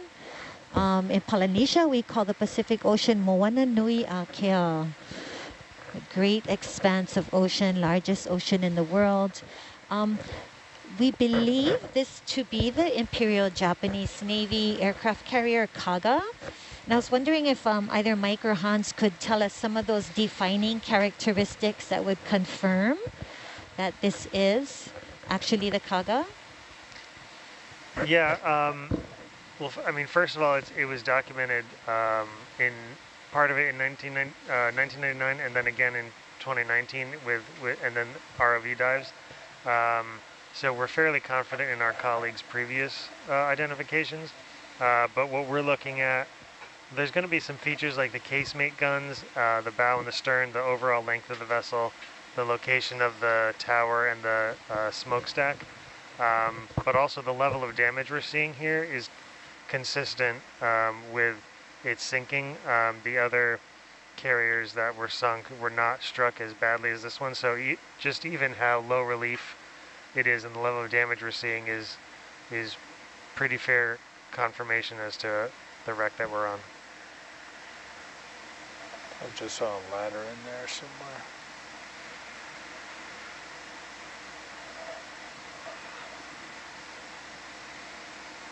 Ed always thinking he's seeing ladders, huh? Yeah. Anytime I see a 90, Yeah. three or four of them in a row. And can you remind us where we are or what part of the ship that we're looking at right now? Are we towards the bow or the stern? Do we know? Uh, we think we're about almost exactly amidships, honestly. Mhm. Um, we're still working on that. We've, we've only uh, moved a little ways since since acquiring the wreck, so it's going to take a little bit longer before we can truly dial in where we are. We're Mhm. pretty sure that we're uh, about amidships, but we're moving um, we're moving slowly towards the stern to to get a better sense of that. Port side amidships, Yeah. mo- moving right towards the stern. We're 85% on that. Nice, thank you. And, and that has to agree with the uh, with the sonar image we were looking at when we first Yeah. approached. Can we zoom on that raised feature there? Anemones for Sebastian. And are there sponges too? Or yeah, just I'm more interested in that sponge that's at Yeah. the very top of it. Because we haven't got a super clear look at those. You're probably not going to get a super clear look at any of this, but... Um, We had a suggestion from shoreside, you know, possible ammunition hoist, but uh, hard to say. Ammunition hoist, but uh, hard to say.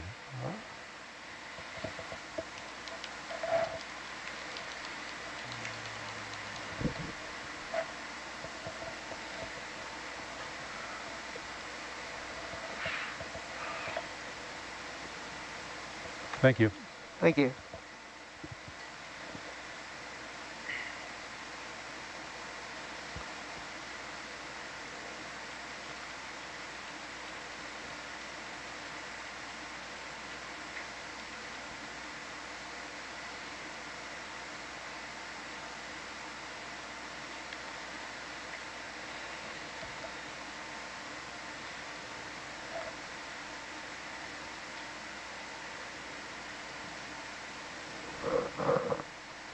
So what is this train rail-like feature we're looking at? I think that's the uh, the interior of the bulkhead. Um, so the this part looks like the hull plating has has been bent outwards, uh, and that's the inner structure of the of the outer hull. And so this protrusion that we're seeing down on the right, that could have been small. It could have been one of the supports for uh, one of the gun mounts. And do you know how far apart the ribs are? Hmm, that's a good question.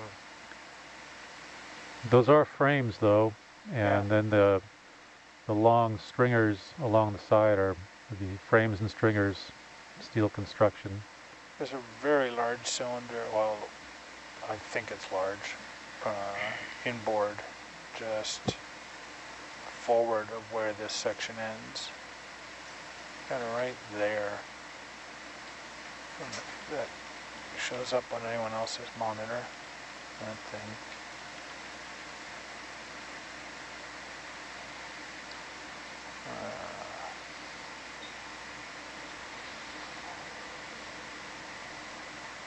and that's out. got some type of uh, fan pinion on the oh, yeah. left side, or a cooling fan.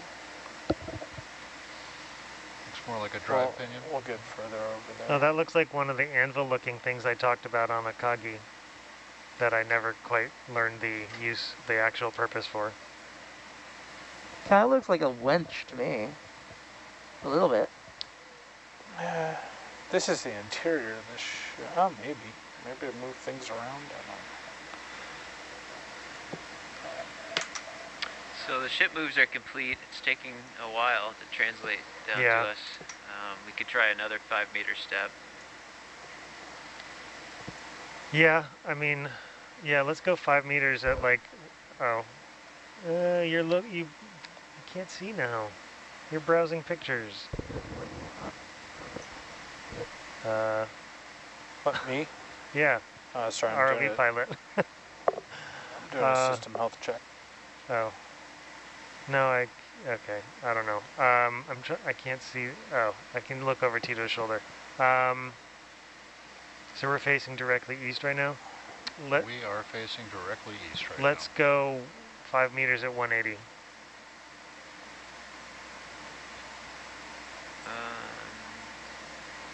Yeah, we've been doing steps at 205, so... Um, yeah, that works too. It's pretty close. Good morning, everybody. Hi, good morning. Bridge, nav.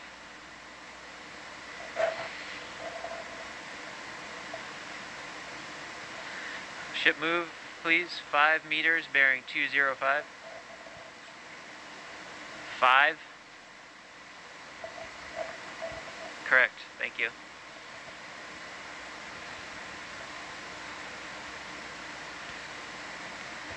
So we have a viewer wondering with all of the heaving and like motion of Atalanta, like uh, how y'all are able to not bump into any of the wreck sites. And uh, like I can hear y'all discussing and kind of looking and seeing when you're maybe too close for comfort, but like what is this distance that we like to stay at. So this is Tito piloting Atalanta, mm -hmm. and I'm using both altimeter, sonar, and video image. And it, to me, it does seem like we get a little close, but then I look down and I see we're five meters away. Oh. So, uh, and I'm going to say for the heaves, if I get below five meters, I start dragging sediment up, creating a little bit of a vacuum when the when the vehicle shoots up. So I'm trying to not get too low to cause sediment in the water, but trying to get those perfect video images. Yeah. And you said you were using what sonar? Is this the sonar that viewers are seeing too? To yes. Look? Yeah.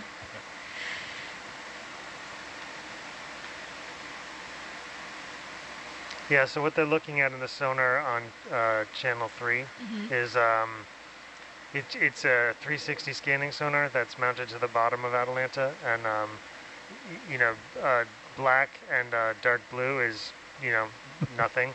And then we're mm-hmm. seeing bright, brighter hits that go from like green to yellow to pink that uh, that show us where the wreck structure is. So it's hmm. pretty zoomed in right now. Um, but but we're able to see you know, that there's more wreck to in front of us as well as to both sides. Yeah. So like that dark area that we're seeing on the sonar kind of like in the wreck, is that like where we can see some of like the damage in the wreck, like on the sonar? I think that's more a gap because we're sitting right over it. Mm.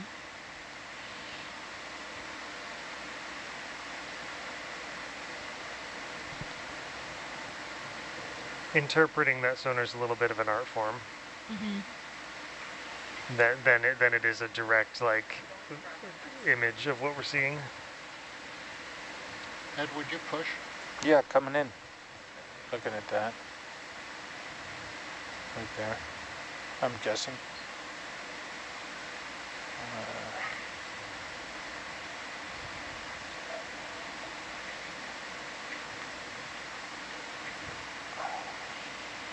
there's just really not enough light to get a good sharp focus on that. We could also try to uh, move more towards the stern if you'd like to do a bigger move, see some different.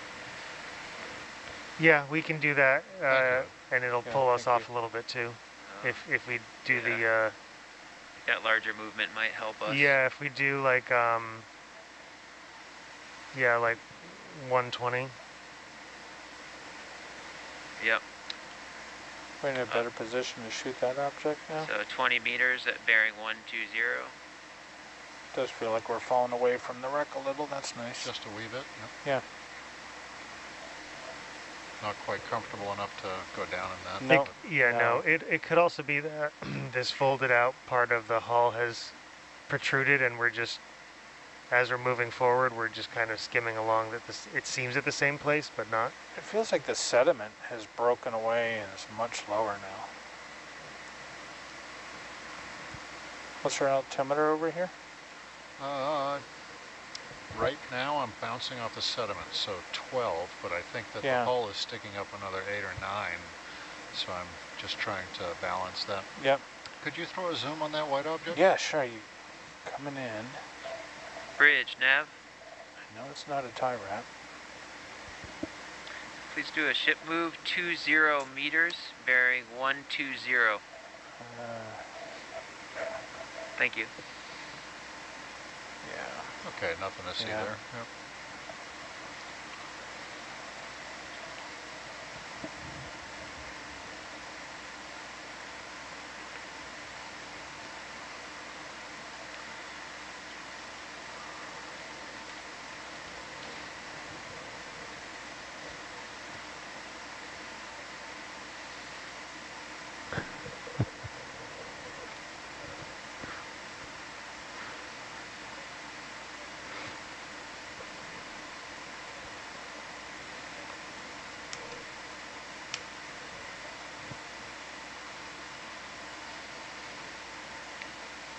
So I'm trying to figure out what that uh, motor may have been driving with that pinion. Could that have been an elevator motor or?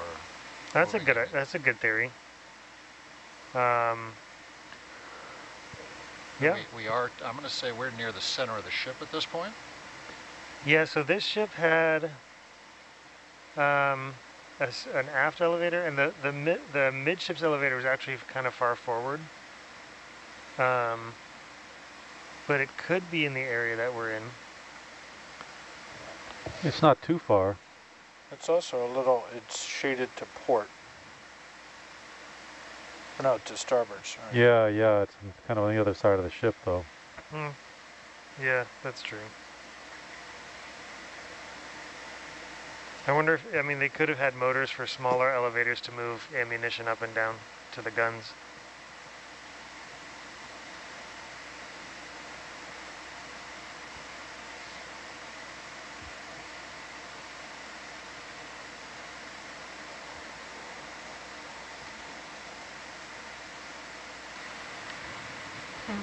Wanted to take a second to recognize that we have viewers from all over the world right now um, tuning in and watching this with us. I'm counting, I think, like 18 different countries um, of folks that are viewing the Nautilus live site right now.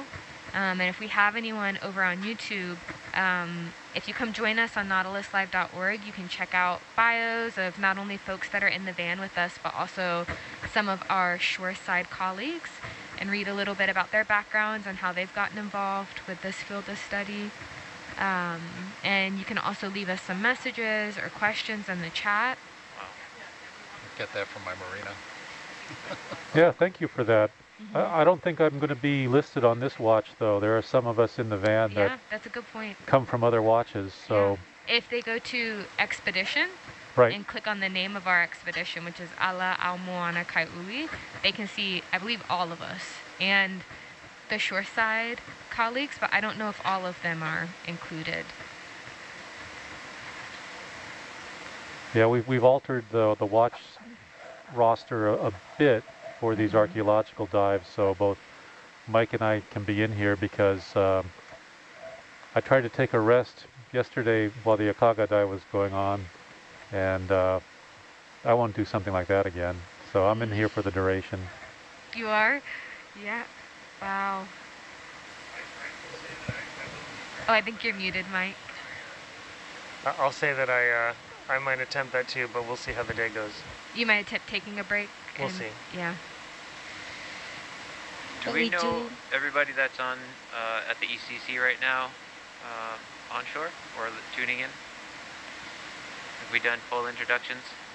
Uh, we didn't actually. There, I think there was a connection issue at the time. Um, Oh, yeah. Phil, if you guys are there um, and, and on SPL, could you uh, do a quick round of introductions to who's uh, who's watching from the ECC? Tito, can we swing Uh, around yeah, the port and see the rail going uh, forward just for a glance?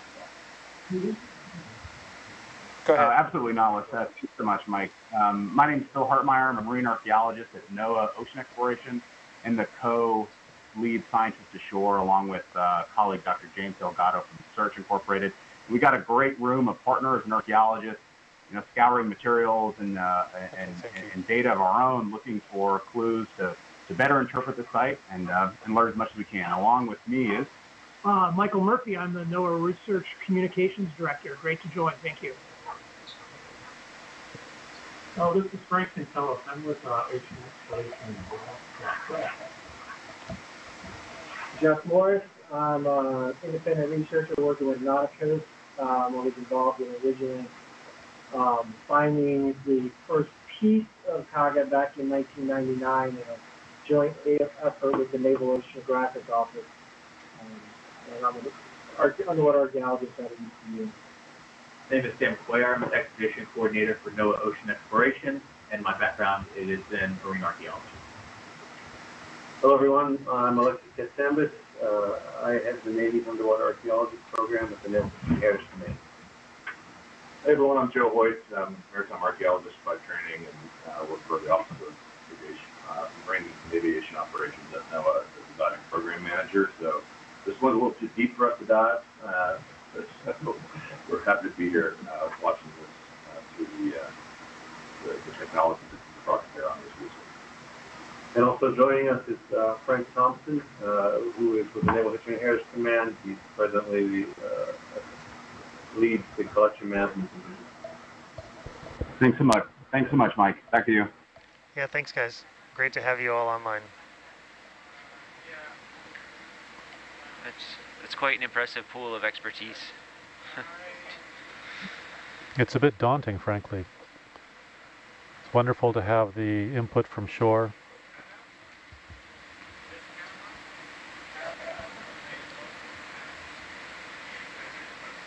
Guys, I think what we're looking at um, with the uh, six holes in there, uh, John and I think that's the base of the five-inch sponson, which uh, is a word he's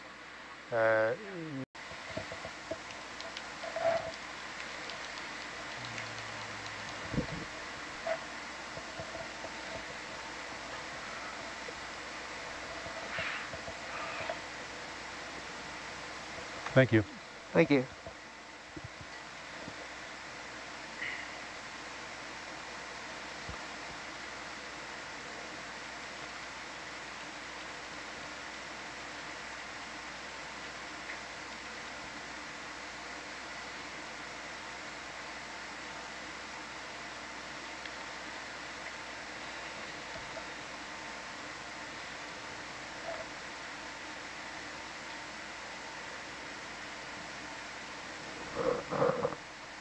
So what is this train rail-like feature we're looking at?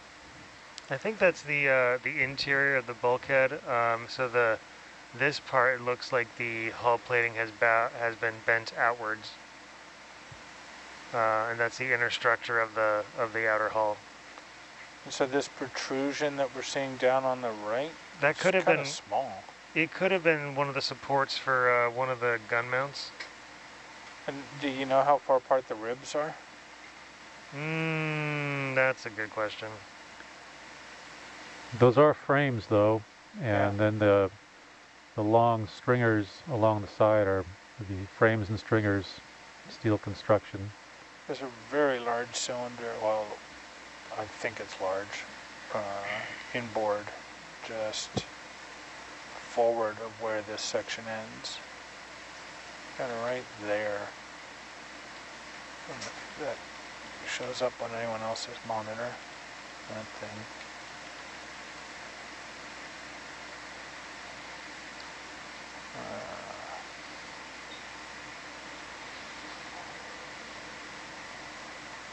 And that's out. got some type of uh, fan pinion on the oh, yeah. left side, or a cooling fan.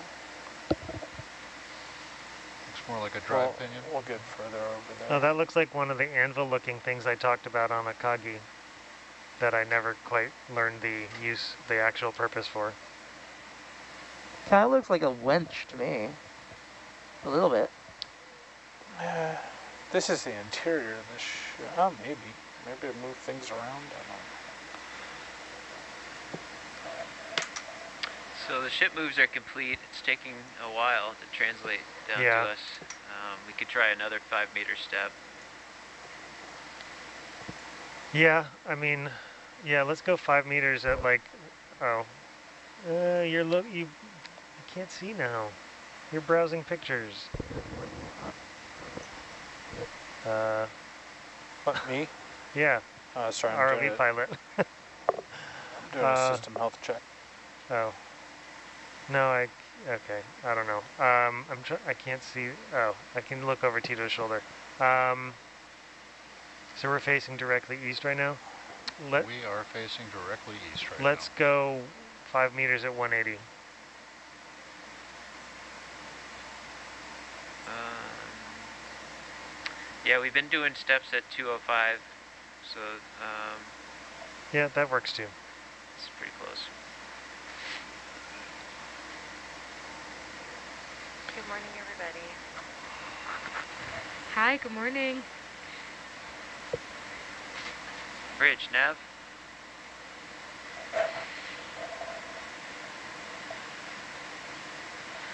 Ship move, please. Five meters, bearing 205. Five. Correct. Thank you.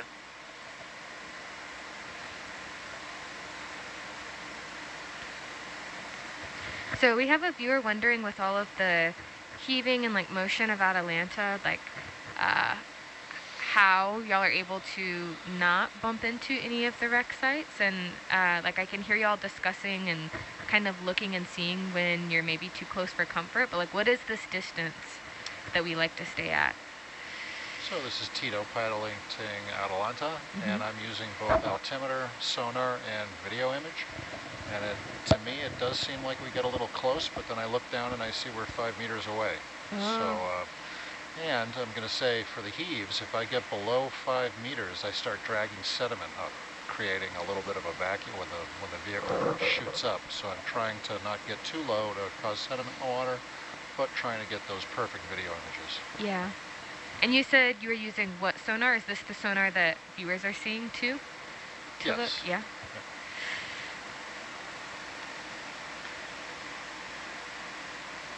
Yeah, so what they're looking at in the sonar on uh, channel 3 mm -hmm. is um, it, it's a 360 scanning sonar that's mounted to the bottom of Atalanta. And, um, you know, uh, black and uh, dark blue is, you know, nothing and then mm -hmm. we're mm-hmm. seeing bright brighter hits that go from like green to yellow to pink that uh, that show us where the wreck structure is. So it's hmm. pretty zoomed in right now, um, but but we're able to see, you know, that there's more wreck to in front of us as well as to both sides. Yeah.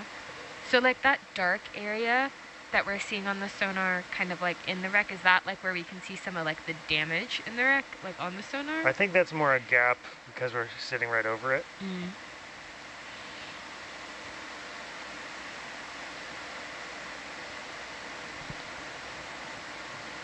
Interpreting that sonar is a little bit of an art form.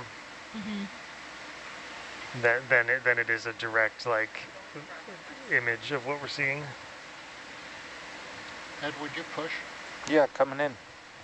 Looking at that. Right there. I'm guessing. Uh,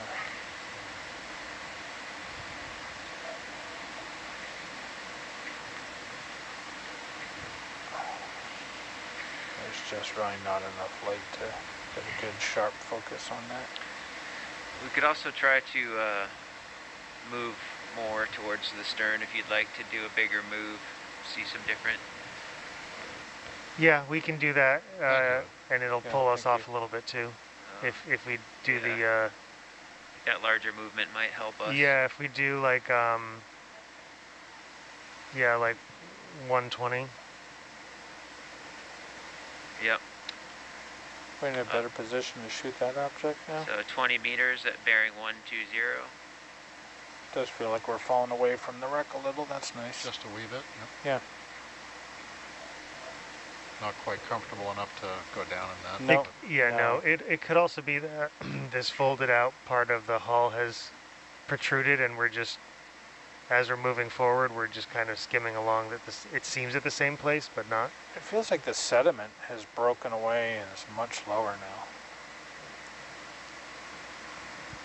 What's our altimeter over here? Uh, right now I'm bouncing off the sediment, so 12, but I think that Yeah. the hull is sticking up another 8 or 9, so I'm just trying to balance that. Yep. Could you throw a zoom on that white object? Yeah, sure. You coming in? Bridge, nav. No, it's not a tie wrap. Please do a ship move 20 meters, bearing 120. Uh,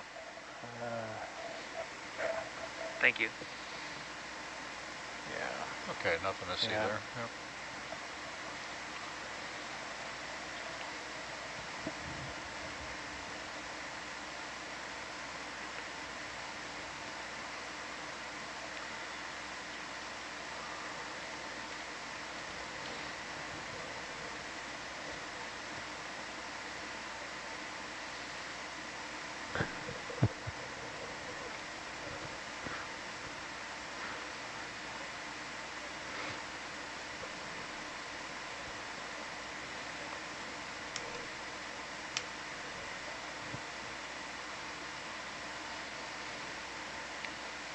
So I'm trying to figure out what that uh, motor may have been driving with that pinion. Could that have been an elevator motor or? That's a good that's a good theory. Um. Yeah. We, we are, I'm going to say we're near the center of the ship at this point.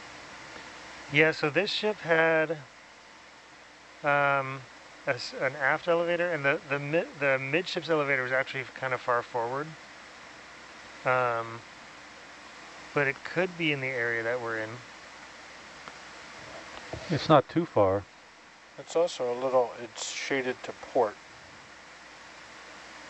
Or no, to starboard, sorry. Yeah, yeah, it's kind of on the other side of the ship though. Hmm. Yeah, that's true. I wonder if I mean they could have had motors for smaller elevators to move ammunition up and down to the guns.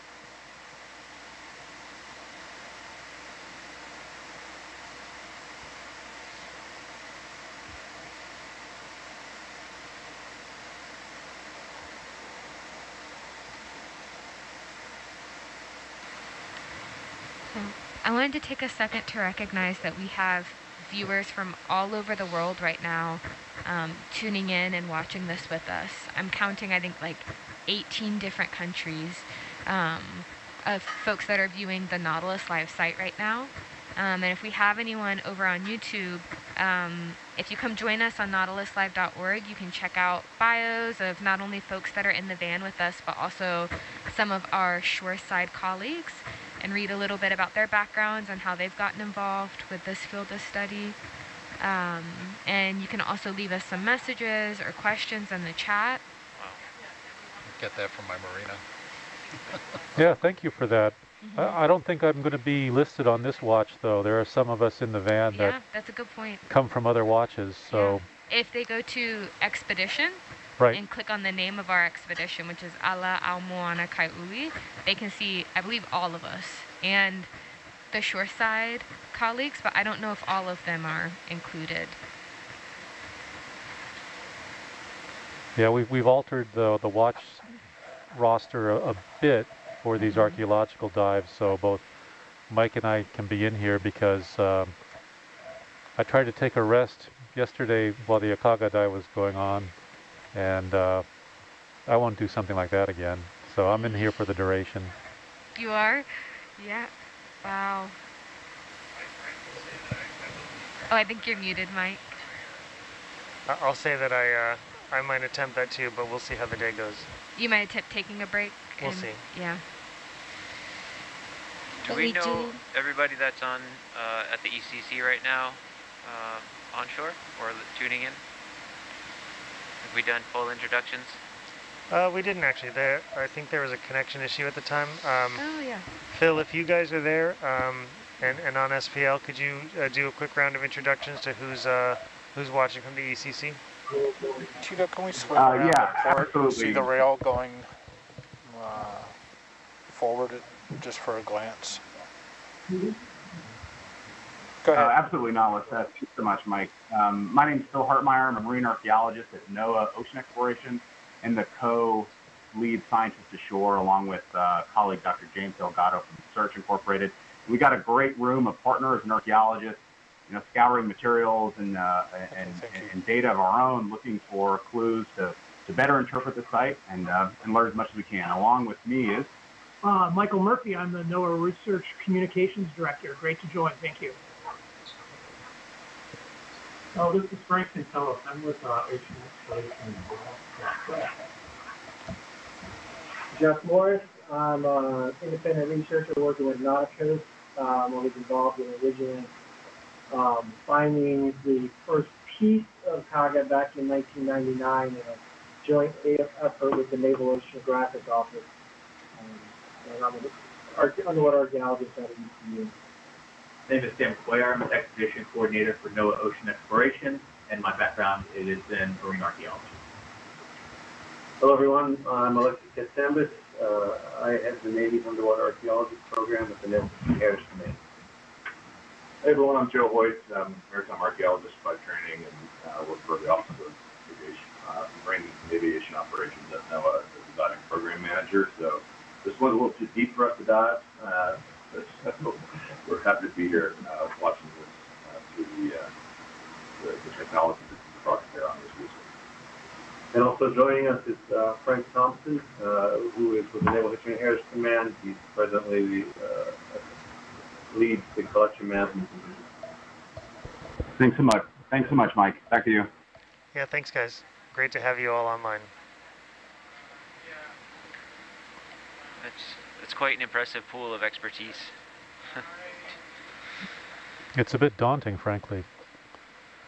It's wonderful to have the input from shore.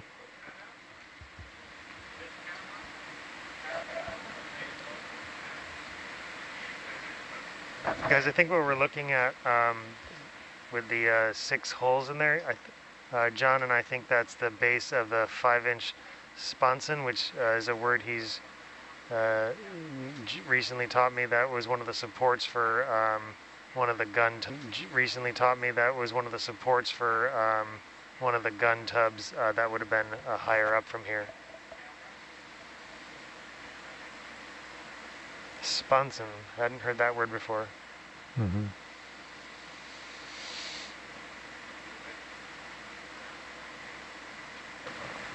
So after hearing that round of introductions, um, I'm just thinking about like the collaboration that we're witnessing and the interdisciplinary nature of what we're doing. And I just I have a question. This can be for Mike or Hans in the van or any of our colleagues ashore.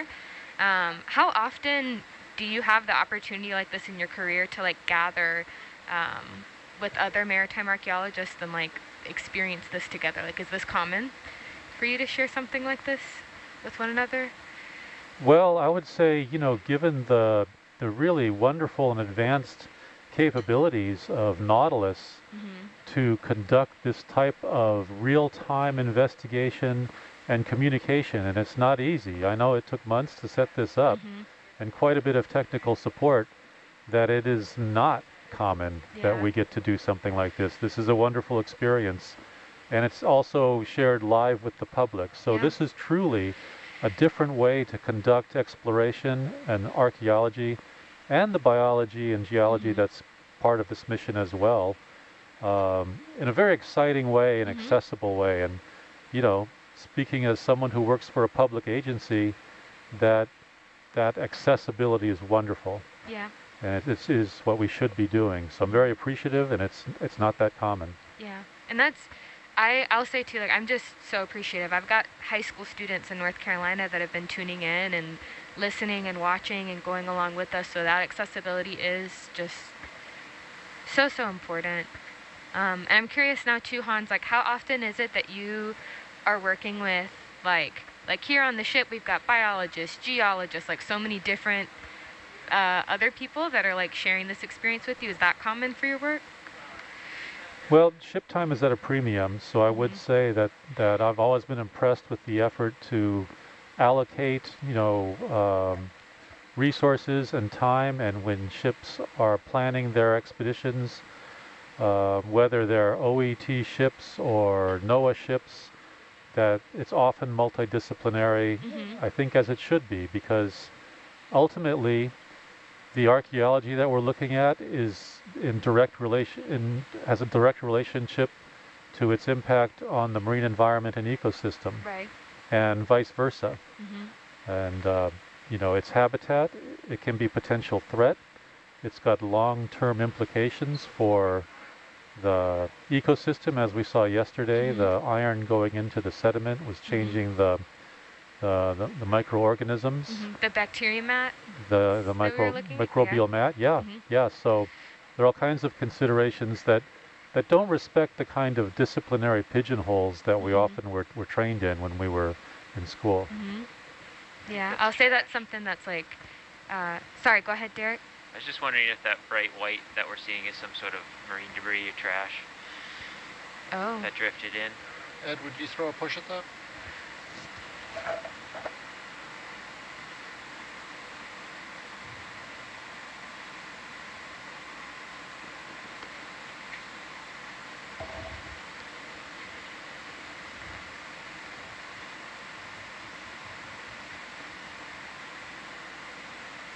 I think that's a good guess Yeah, it just doesn't look as old as the uh, rest of the stuff. Mm-hmm.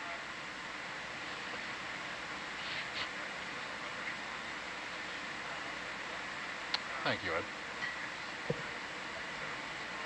I just wanted to chime in real quick and say that this is the highest density of the white anemones we've seen across all three wrecks is under this bent piece of hull.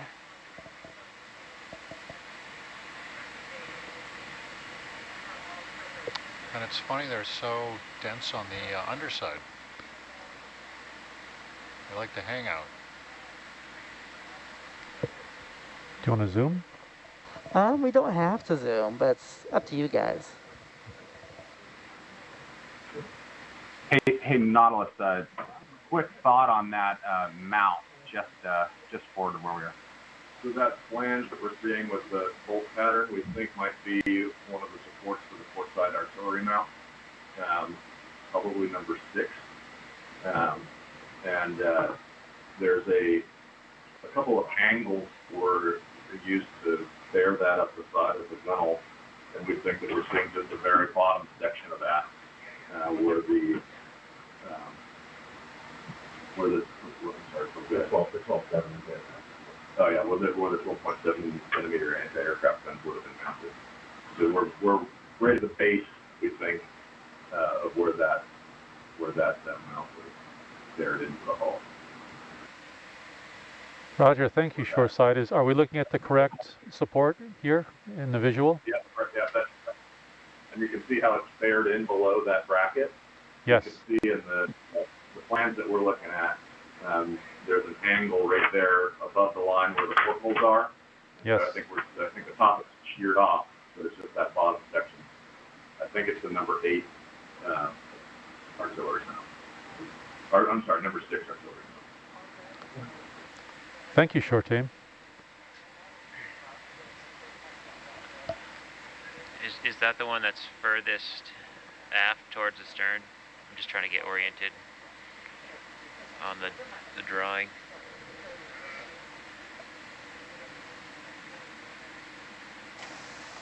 I'm back on comms.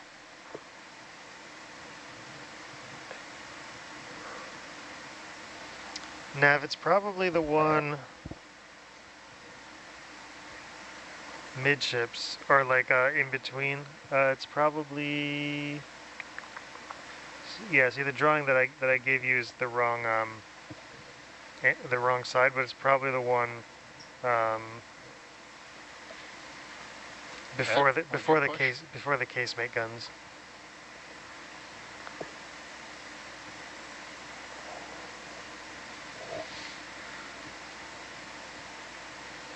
Thank you.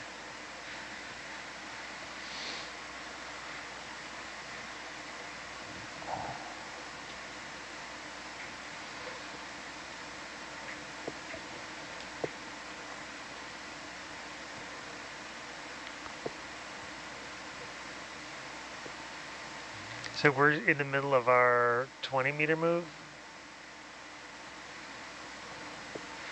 Uh, I believe we're done that now. All right, that was a good, um, that helped us get to the right spot off the wreck. Um, so if we could do like a slightly less, well, maybe still at 120, another 20 meters, Understood. maybe 115. Um, I'm just gonna um, 090, and I'm still looking at a little offset with the uh, sonar image of about 20 degrees. So I think anything over 110 to 115 is going to be right around the money. You want to go with 115? Yeah. Yes. All right. Bridge, nav. A ship move, please. 20 meters, bearing 115. Thank you.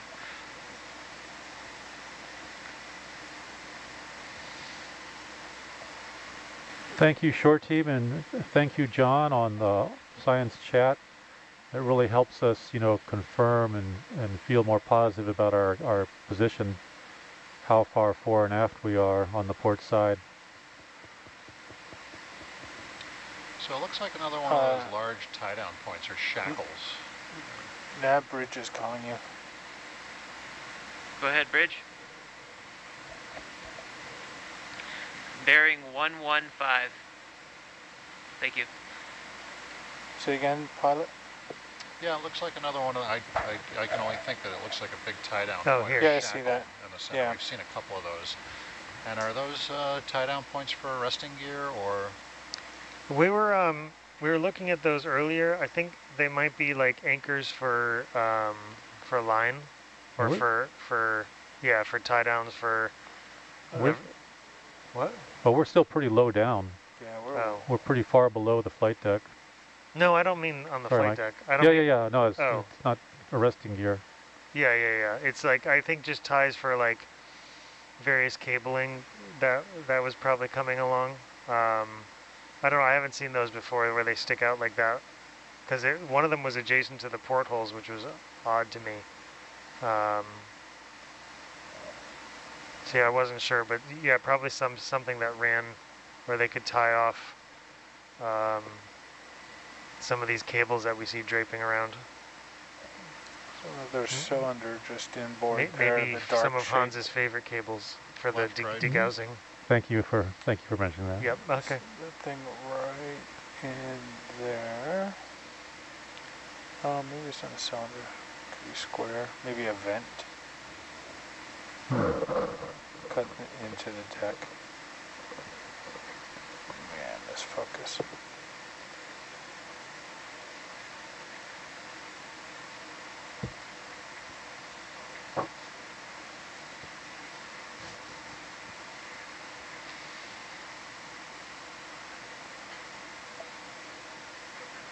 That's a um, large item. Uh, let me do a push. Uh, if you look at the down, not the vertical white, I don't think we're there yet. But this item underneath us, if you look at the right side of it, it stands proud of the seafloor quite a ways. To the right? Um, here, hold a sec. There's my Hey, arrow. Nautilus, I mean, Right I- here. we, we may be we, we may be looking at one of those 12-7 gun tubs that you can see where it's sheared, and you know certainly if that was the case, it's toppled toppled from decks that are are gone, obviously now, but it could be overturned there. Yeah, possibly. W- That would put us a little further aft than the, the center support we're looking at for the gun platform high above. Perhaps I, you know, it would be one of those three 12-7 anti-aircraft. Oh, can you tilt down um, just a little, Tito? Yeah. Potentially the middle one, but The no. forward edge has a little more detail. Yeah, it, it may have been that, that uh, the one to the right, Right there, the platform above, 12.7 Yeah, centimeter, and that would put us directly next to the first casemate gun. All right. That's a possibility.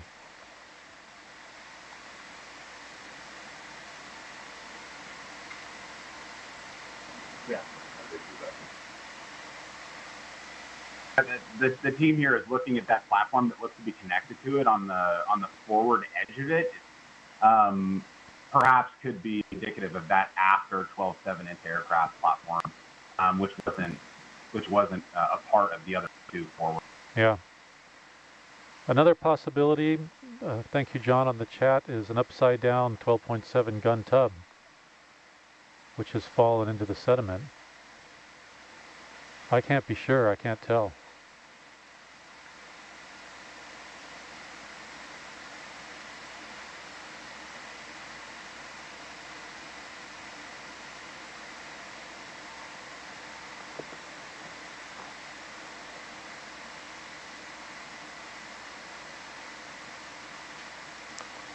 It's a uh, circle inboard, just aft of where we are. You speak up a tad. Yeah, there's a circle uh, inboard, uh, forward of that vertical white thing, right frame center just now. See that? That's pretty large.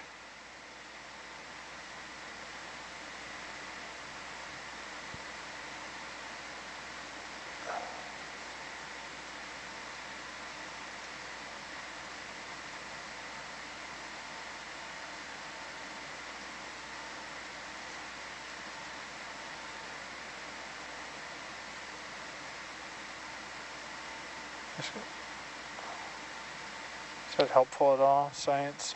That looks like a turret of some sort. Almost a bearing we're seeing. Yeah, it doesn't. Yeah, often what happens is, you know, the plans and references we have show us the complete vessel, right? So when we're we're looking at damaged areas and uh, hull plates and bulwarks that are missing, gone, flight decks that are taken away, we're dealing with interior schematics, um, which are not so common. Uh, And the vessel's purpose was changed from how it was laid. Tubs, uh, that would have been uh, higher up from here. Sponson, hadn't heard that word before. Mm-hmm.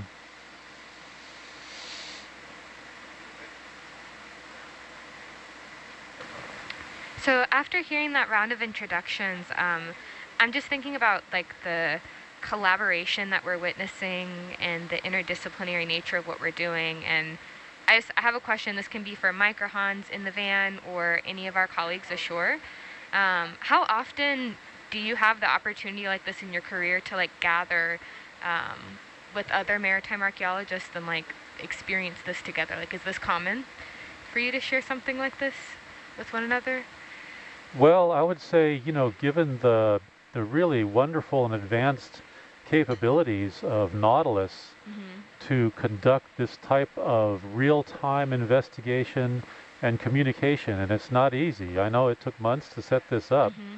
and quite a bit of technical support that it is not common that we get to do something like this. This is a wonderful experience and it's also shared live with the public. So Yeah. this is truly a different way to conduct exploration and archaeology and the biology and geology that's part of this mission as well um, in a very exciting way and Mhm. accessible way. And, you know, speaking as someone who works for a public agency, that that accessibility is wonderful. Yeah. And it, is what we should be doing. So I'm very appreciative, and it's it's not that common. Yeah, and that's I I'll say too like I'm just so appreciative. I've got high school students in North Carolina that have been tuning in and listening and watching and going along with us. So that accessibility is just so so important. Um, and I'm curious now too, Hans. Like, how often is it that you are working with like like here on the ship we've got biologists, geologists, like so many different uh, other people that are like sharing this experience with you. Is that common for your work?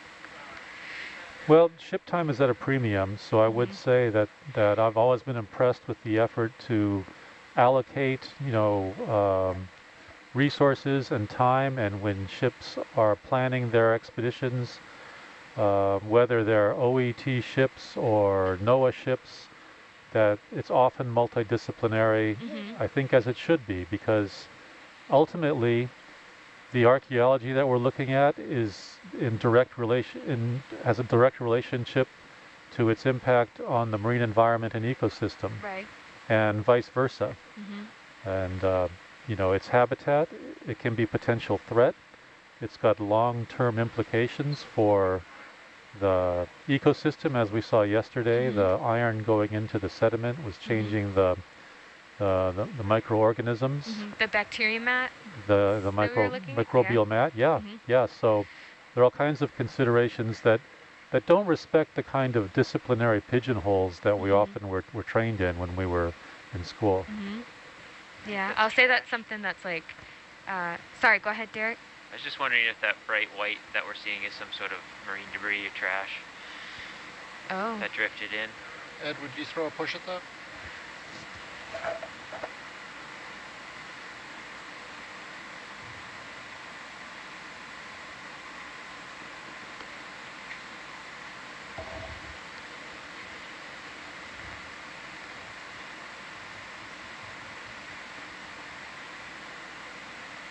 I think that's a good guess Yeah, it just doesn't look as old as the uh, rest of the stuff. Mm-hmm.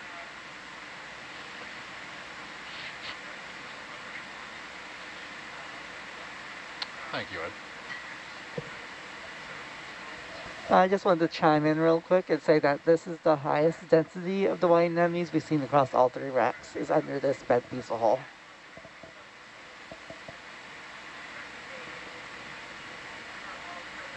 And it's funny, they're so dense on the uh, underside.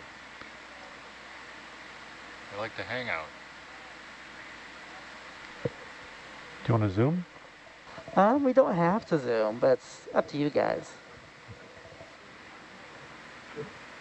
Hey, hey, Nautilus. Uh, quick thought on that uh, mount, just uh, just forward of where we are. So that flange that we're seeing with the bolt pattern, we think might be one of the supports for the port side artillery mount, um, probably number six.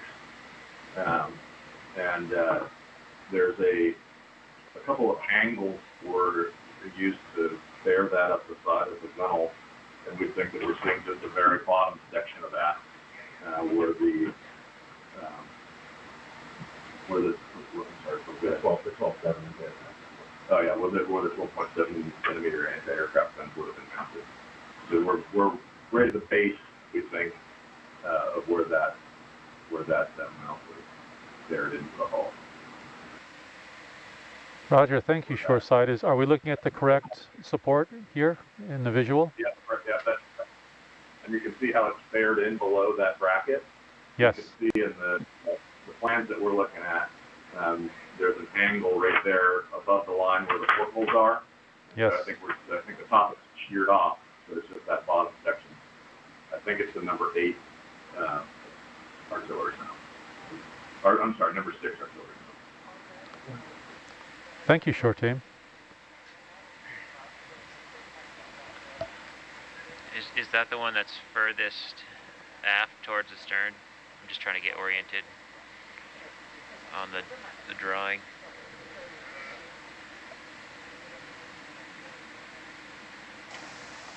I'm back on comms.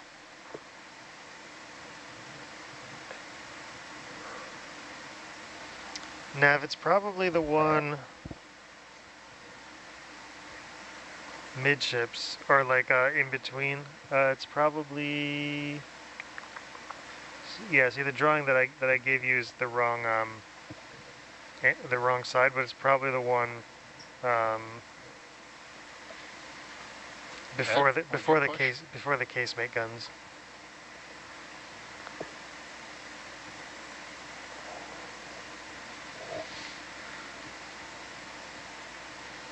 Thank you.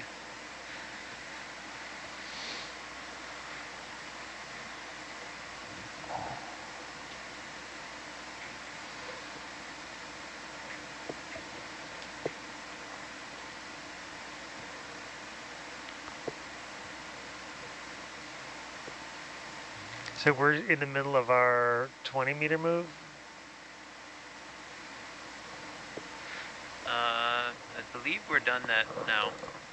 All right, that was a good, um, that helped us get to the right spot off the wreck. Um, so if we could do like a slightly less, well, maybe still at 120, another 20 meters, Understood.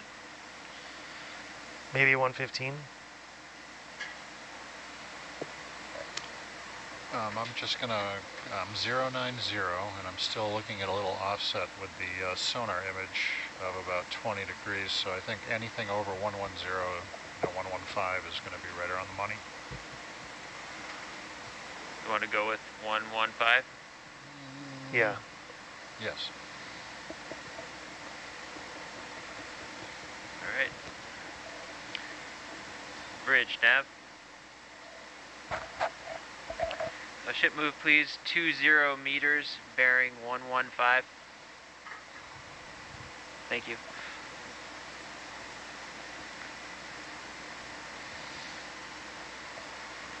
Thank you, short team, and thank you, John, on the science chat.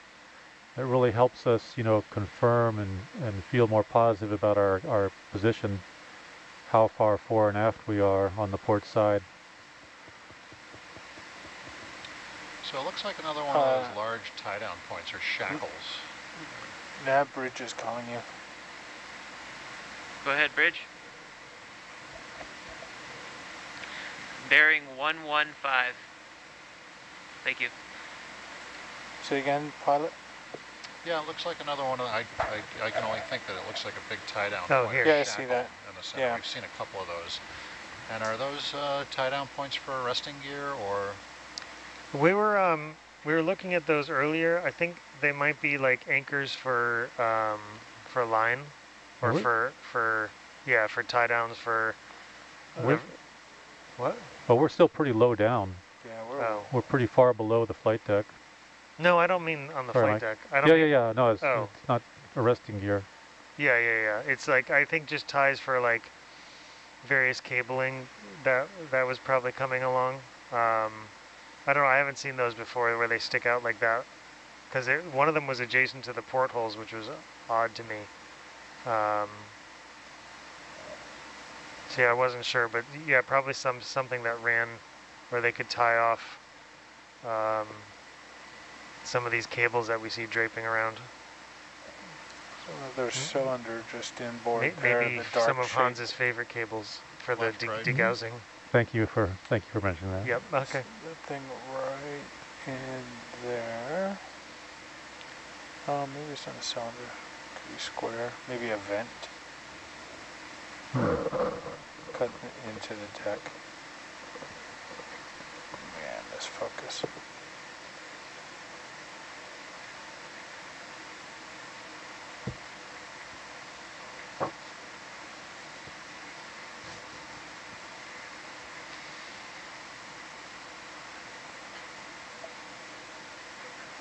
That's a um, large item. Uh, let me do a push. Uh, if you look at the down, not the vertical white, I don't think we're there yet. But this item underneath us, if you look at the right side of it, it stands proud of the seafloor quite a ways. To the right? Um, here, hold a sec. There's my Hey, Nautilus, I mean, right I- here. we, we may be we, we may be looking at one of those 12-7 gun tubs that you can see where it's sheared, and you know certainly if that was the case, it's toppled toppled from decks that are are gone, obviously now, but it could be overturned there. Yeah, possibly. W- That would put us a little further aft than the, the center support we're looking at for the gun platform high above.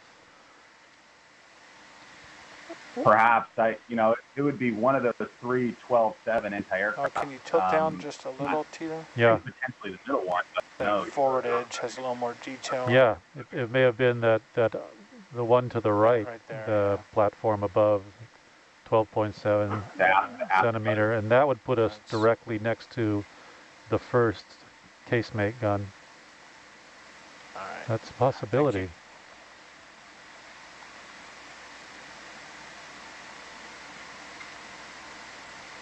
Yeah. The, the, the team here is looking at that platform that looks to be connected to it on the on the forward edge of it. Um, perhaps could be indicative of that after 12-7 anti-aircraft platform, um, which wasn't which wasn't uh, a part of the other two forward. Yeah. Another possibility, uh, thank you, John, on the chat, is an upside down 12.7 gun tub, which has fallen into the sediment. I can't be sure, I can't tell.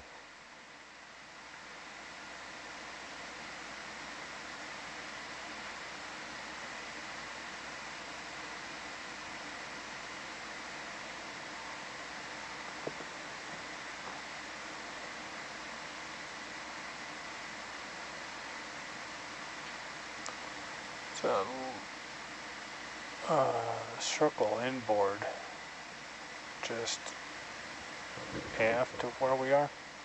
You speak up just a tad. Yeah, there's a circle uh, inboard, uh, forward of that vertical white thing, right frame center just now. See that? That's pretty large.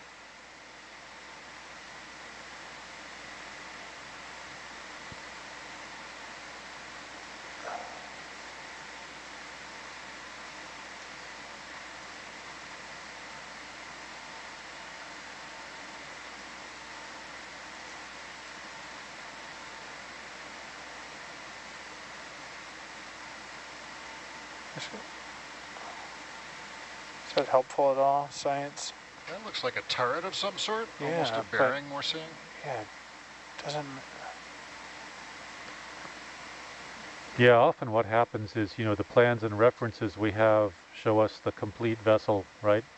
So when we're we're looking at damaged areas and uh, hull plates and bulwarks that are missing, gone, flight decks that are taken away, we're dealing with interior schematics, um, which are not so common. Uh, And the vessel's purpose was changed from how it was laid, so it could be Yeah. a remnant of the original design that Yeah, initially, laid, so it could be Yeah. a remnant of the original design that yeah, initially battleship hull Yeah. converted to aircraft carrier.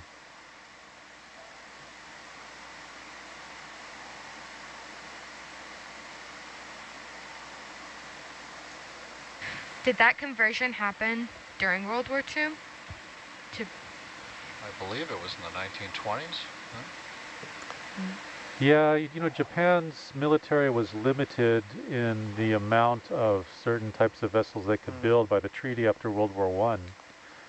And I, I think there was a general feeling that the limitations were unfair. It's often called the 553 there's treaty. another circle right there. The, the British and other Western powers got a ratio Yeah. of 5 and 5, and Japan got a ratio of 3. And so they weren't allowed to lay down um, carrier hulls. And They had to convert them quickly uh, when the decision was made to do that.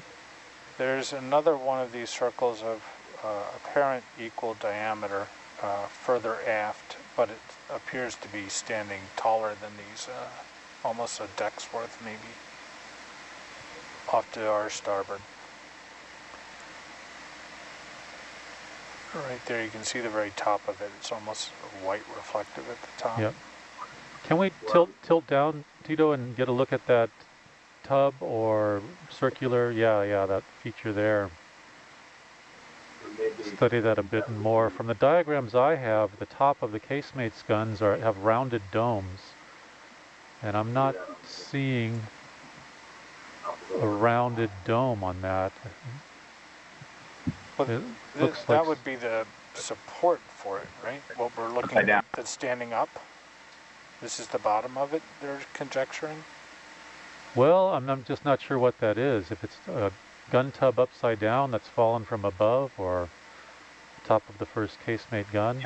I, don't, I don't think it's a casemate. Go ahead, shoreside. Yeah, I, I, I like what you're thinking. It's uh, the aftermost upside down 12 7. You know, Joe Hoyt uh, also mentioned that those cylinder holes in the interior shot potentially could be old gun mounts from or deck mounted, you know, eight inch or larger. I'm not sure the armament it was um, before it was converted, but those could have been, you know, Can you west mount. tilt down just a little Um, more, Tito? Sorry. those cylinders. Here we go. Right, thank you, Phil. Un- Unfortunately, uh, the comms are getting broken up a little bit. I hope it's a temporary aberration.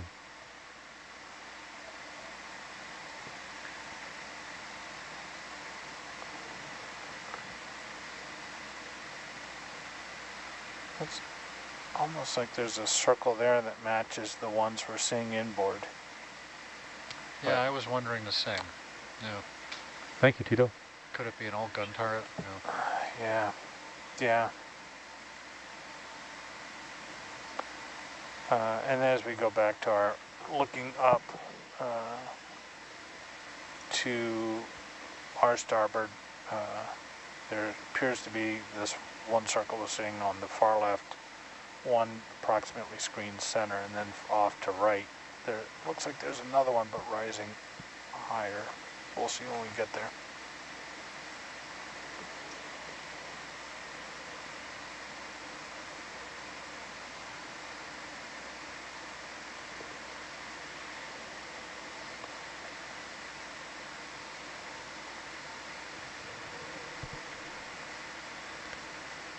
But it raises interesting questions. You know, if we're looking at things that potentially were higher up and fell over, that means they did it in place, that they were up there on the upper levels of the gun platforms mm-hmm. as the, the vessel hit the bottom and then fell over.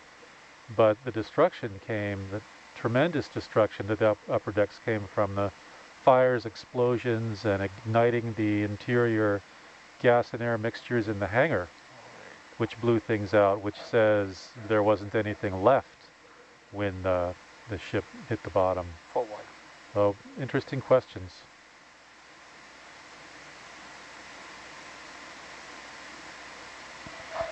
Do we Tom, did you uh, hear any better here at the ECC? Uh, broken up, shoreside. I'm able to make you out shore, but there's a little intermittent gaps in your audio. Could Do we know if this wreck drifted far from where it was appeared to sink?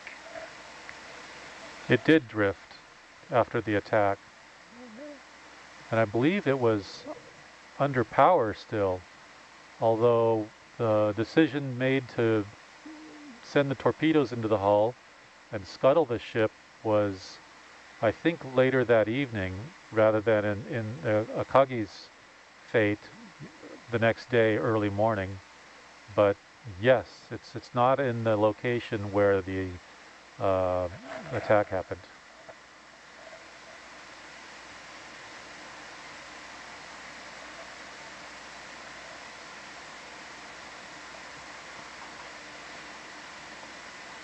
And there's that uh, item I was referring to. I don't know what that white is.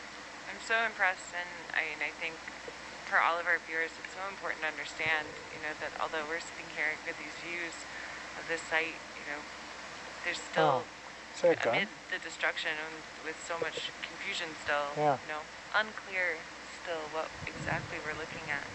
Um, I think that's poignant that this isn't just, you know, look and see. This really is an active investigation. Absolutely. Yeah, I think you're right. That is the casemate gun. That's a Uh, great shot. Coming out a little bit. 20 centimeter casemate.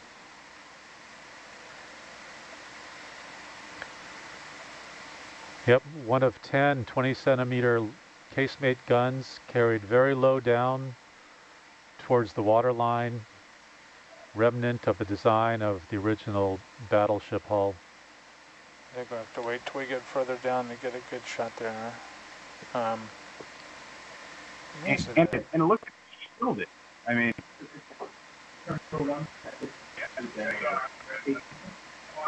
Yeah. So that must be the third. Could one of our archaeology team talk us through a casemate gun? What makes it different than others? One, two, three, four, five, like that. Uh, let me uh, turn you up, Megan. I'm not sure we heard that. Uh, Thanks, Ed. Which studio are you on? I'm on Studio One. Studio 1I, stand by.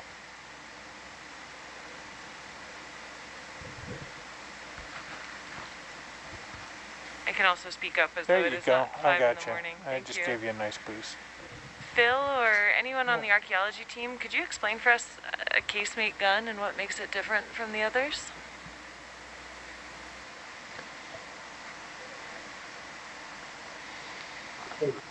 Well, sure, and, and jump in here, Mike Hans, others. Uh, casemates are certainly heavier guns that were lower in the water line,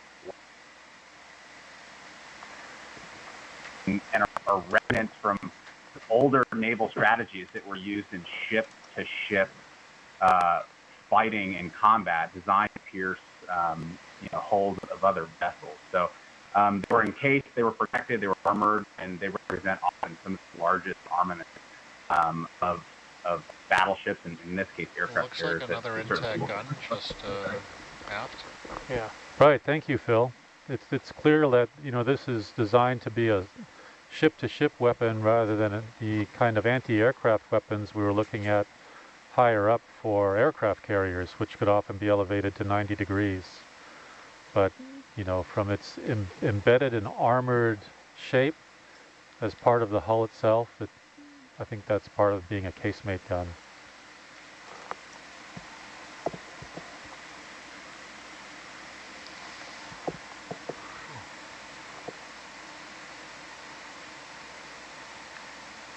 The, uh, do a little push here on. Yeah, the and, and what above- makes it casemate is um, is that it's uh, hull. It's mounted on the hull rather than on the deck, like it would be for a battleship or destroyer.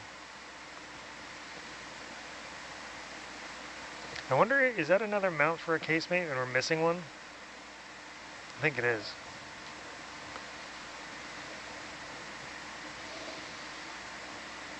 I think one of them's uh, Yeah, this, uh, missing. this does Yeah, there- there- there have, two. Looks to me like roller bearings. yeah. Yeah, that's where they, one of the casemate guns was there.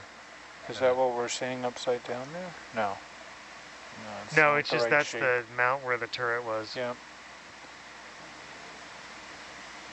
Uh, So how many along each side were? I think there were Five. five on this So one. we can see four from here.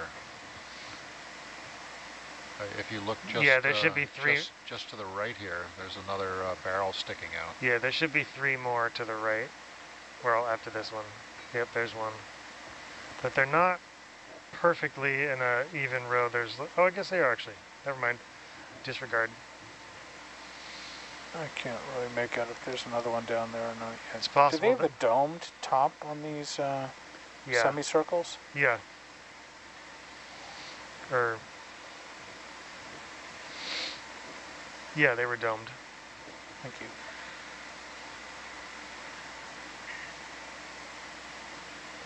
So we can get a push on this one.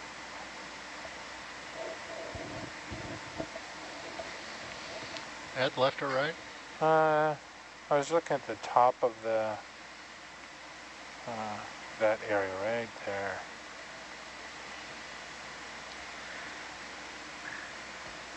So I believe we're done our movement aft. Would we like to do another step? Keep us moving along? Uh, yeah, yeah, sounds good. There we go. We'll do We're, a, we're- we're at a great spot off, the- right off offside the wreck. pilot, would you like to keep that same heading? We were at 115 for that last moves. Yes.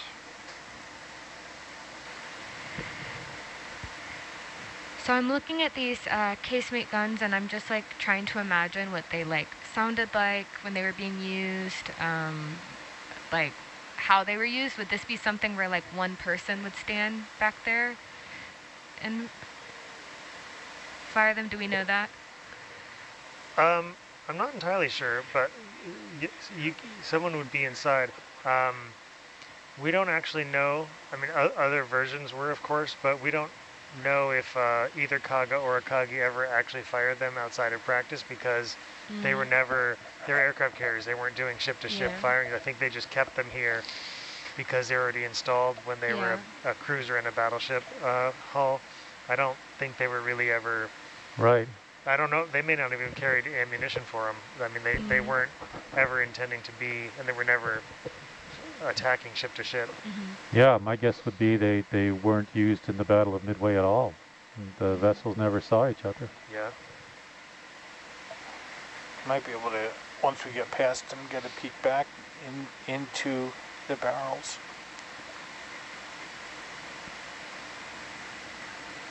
Looks like there's portholes inboard of this one. Oh yeah. It'd be bad to have a cabin there. Quite loud. I like the uh, the portholes that are underneath where the smokestack comes out. So you're, if- they're venting, you're gonna have a nice uh, view of black smoke out your window. From what I read, that was all um, some of the engineering going on and, and trying to figure out how to exhaust stack gases. Yeah, it's interesting. I've, I mean, um, you know, almost every other ship that I'm aware of has the vents coming up straight up. Uh, it's an interesting design, and I, I hope that. I mean, we'll. It's probably. I'm actually certain there's no chance of it, but it would have been nice to see if it had been still on this wreck because it was not on Akagi. But given the level of destruction, my guess is that it's long gone. So there's not, don't appear to be portholes around this gun screen center right now, but there are around the one to our right. If that helps you to know where we're on the vessel. And it appears to me that the two portholes closest to the turret are higher in ship's elevation than the ones further away. Yeah, so we are um, at the one in front is the second. So we're, we're missing one gun, then there's that one, and then the third gun had portholes above it. Okay. That does help things. Yeah, we're, we're pretty good on position now. We've seen enough clues, enough evidence. We're port side in the area. Um,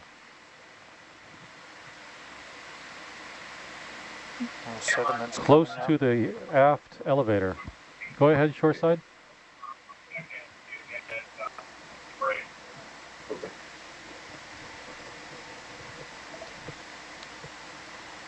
And these are main deck original design then? Battleship hull Yeah. converted to aircraft carrier.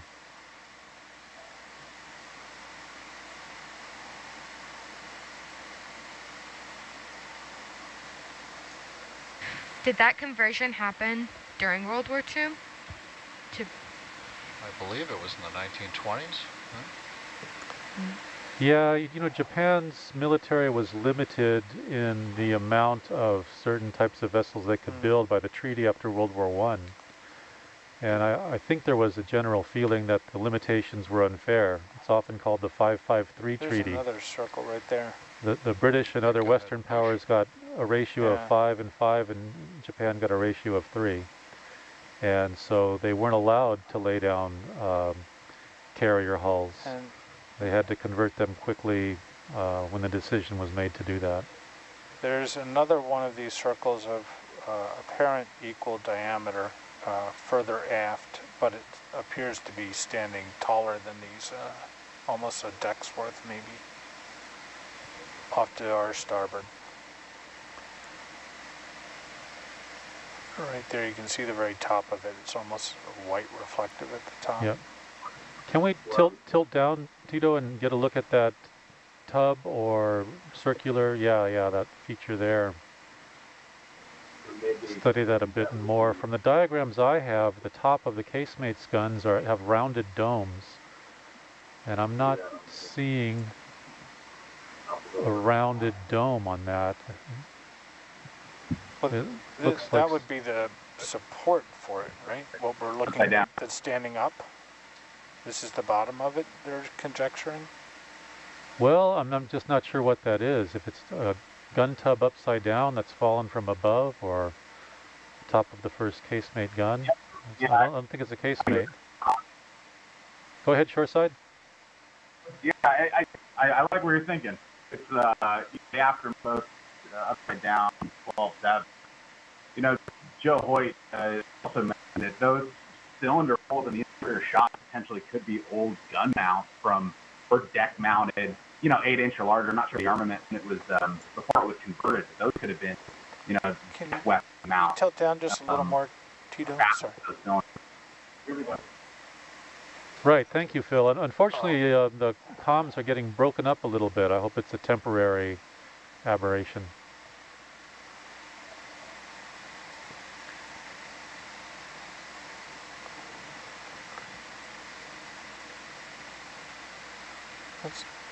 Almost like there's a circle there that matches the ones we're seeing inboard.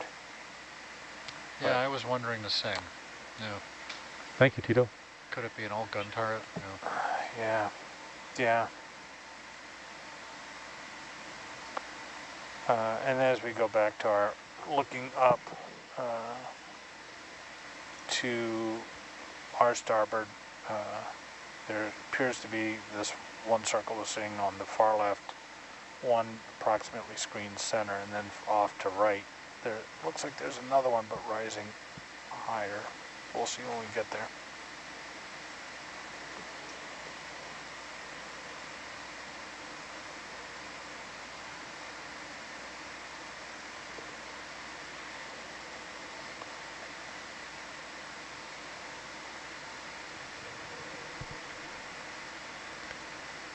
But it raises interesting questions. You know, if we're looking at things that potentially were higher up and fell over, that means they did it in place, that they were up there in the upper levels of the gun platforms mm-hmm. as the, the vessel hit the bottom and then fell over.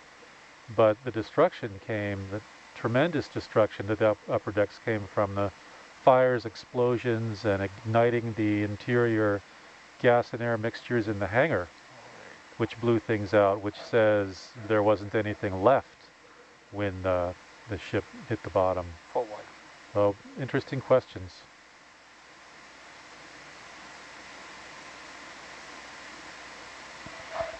Do we Tom, have, you uh, hear any better here at the ECC? Uh, broken up, shoreside. I'm able to make you out shore, but there's a little intermittent gaps in your audio. Do we know if this wreck drifted far from where it was appeared to sink? It did drift after the attack. And I believe it was under power still, although the decision made to send the torpedoes into the hull and scuttle the ship was, I think, later that evening rather than in, in uh, Akagi's fate the next day, early morning. But yes, it's, it's not in the location where the uh, attack happened.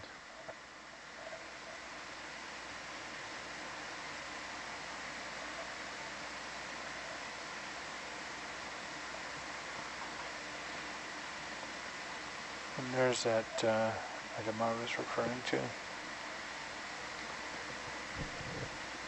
I don't know what that white is. I'm so impressed, and I, and I think for all of our viewers, it's so important to understand, you know, that although we're sitting here with these views of this site, you know, there's still, Oh, is that amid the destruction and with so much confusion still, Yeah. you know, unclear still what exactly we're looking at. Um, I think that's poignant that this isn't just, you know, look and see. This really is an active investigation. Absolutely. Yeah, I think you're right. That is the casemate gun. That's a Uh, great shot. Coming out a little bit. 20 centimeter casemate.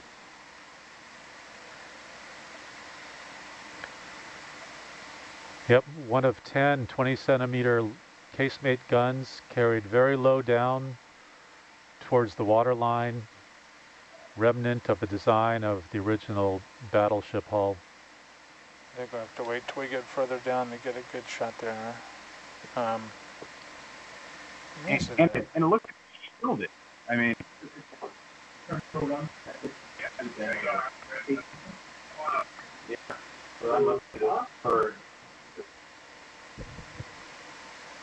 Could one of our archaeology team talk us through a casemate gun? What makes it different than others? One, two, three, four, five, right there. Uh, let me uh, turn you up, Megan. I'm not sure we heard that. Uh, Thanks, Ed. Which studio are you on? I'm on Studio One. Studio 1I, stand by.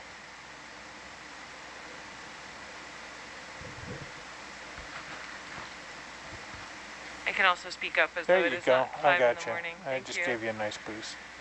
Phil or anyone on the archaeology team, could you explain for us a casemate gun and what makes it different from the others?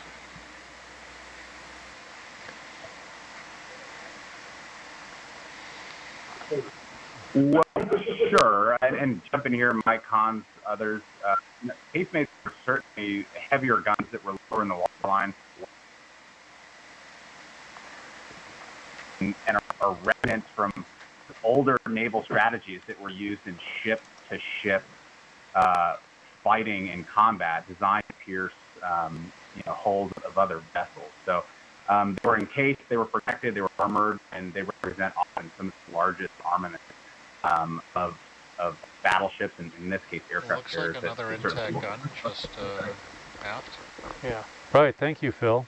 It's it's clear that you know this is designed to be a ship-to-ship weapon rather than a, the kind of anti-aircraft weapons we were looking at higher up for aircraft carriers, which could often be elevated to 90 degrees. But you know, from its Im- embedded and armored shape as part of the hull itself, it, I think that's part of being a casemate gun.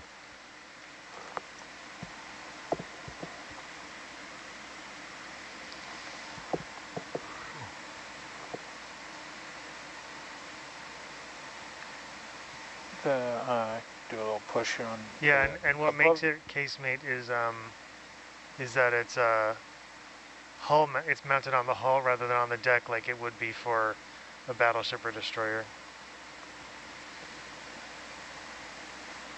I wonder, is that another mount for a casemate, and we're missing one? I think it is.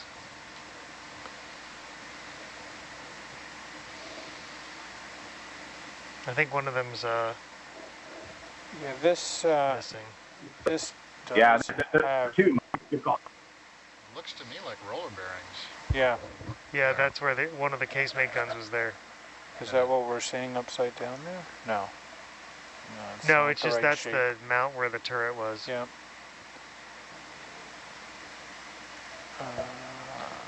So how many along each side were? I think there were Five. five on this So one. we can see four from here.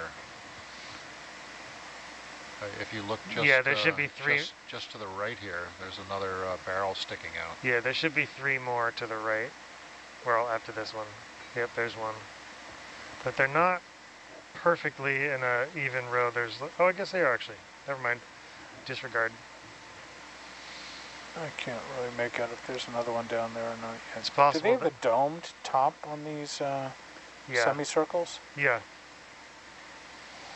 Or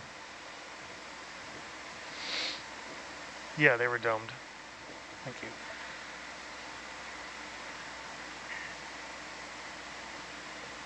If we can get a push on this one.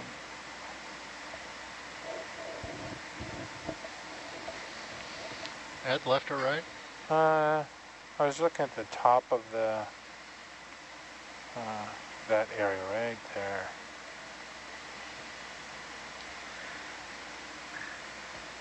So I believe we're done our movement aft. Would we like to do another step? Keep us moving along? Uh, yeah, yeah, sounds good. There we go. We'll do We're, a, we're- we're at a great spot off the, right off offside the wreck. pilot, would you like to keep that same heading? We were at 115 for that last moves. Yes.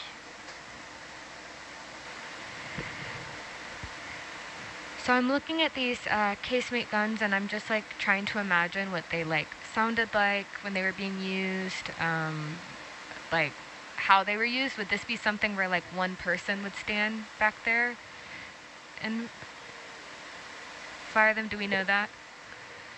Um, I'm not entirely sure, but y- you, someone would be inside. Um, we don't actually know. I mean, other versions were, of course, but we don't know if uh, either Kaga or Akagi ever actually fired them outside of practice because they were Mhm. never. They're aircraft carriers. They weren't doing ship-to-ship Yeah. firing. I think they just kept them here because they're already installed when they were a, a cruiser in a battleship uh, hull. I don't think they were really ever Right. I don't know. They may not even carried ammunition for them. I mean, they, they Mhm. weren't ever intending to be, and they were never attacking ship to ship. Yeah, my guess would be they, they weren't used in the Battle of Midway at all. The vessels never saw each other. Yeah. Might be able to, once we get past them, get a peek back in into the barrels.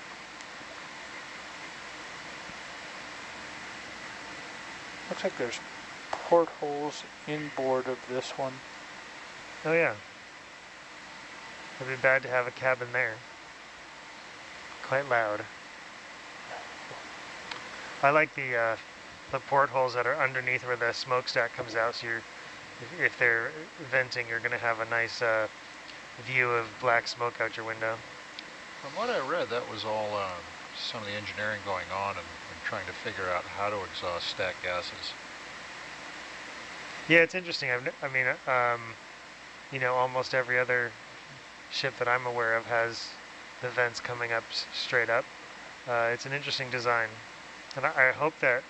I mean, we'll. It's probably. I'm actually certain there's no chance of it, but it would have been nice to see if it had been still on this wreck because it was not on Akagi. But given the level of destruction, my guess is that it's long gone. So there's not, don't appear to be portholes around this gun screen center right now, but there are around the one to our right, if that helps you to know where we're on the vessel. And it appears to me that the two portholes closest to the turret are higher in ship's elevation than the ones further away. Yeah, so we are um, at the one in front is the second. So we're, we're missing one gun, then there's that one, and then the third gun had portholes above it. Okay. That does help, thanks. Yeah, we're, we're pretty good on position now. We've seen enough clues, enough evidence. We're port side in the area. Um, Uh, close to the aft elevator. Go ahead, shoreside.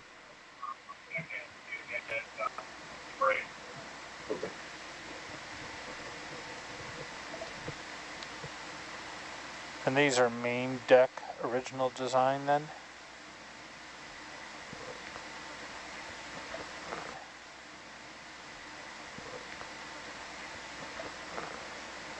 Sorry, what was that video? Is this a main deck? Uh, that we saw two, two bases to the left of these two guns. So this may be number four. Uh, did you hear that, Science? The shore was saying they thought they saw two bases to the left of these, so this may be okay. number four. But that first circle that we saw did not have the gearing at the base that the second one did. Yeah, it could have been damaged though, because I don't see another one further forward, so they may be right on that.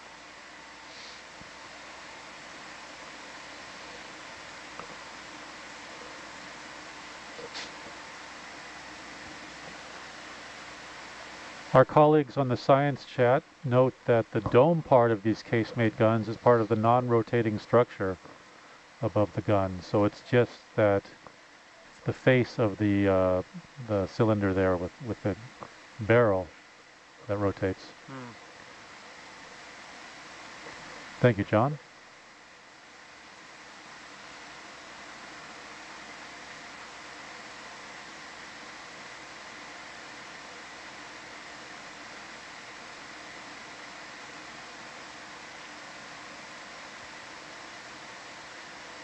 And there's um, there's going to be five more of these, or a, a maximum of five more of these uh, to see on the other side.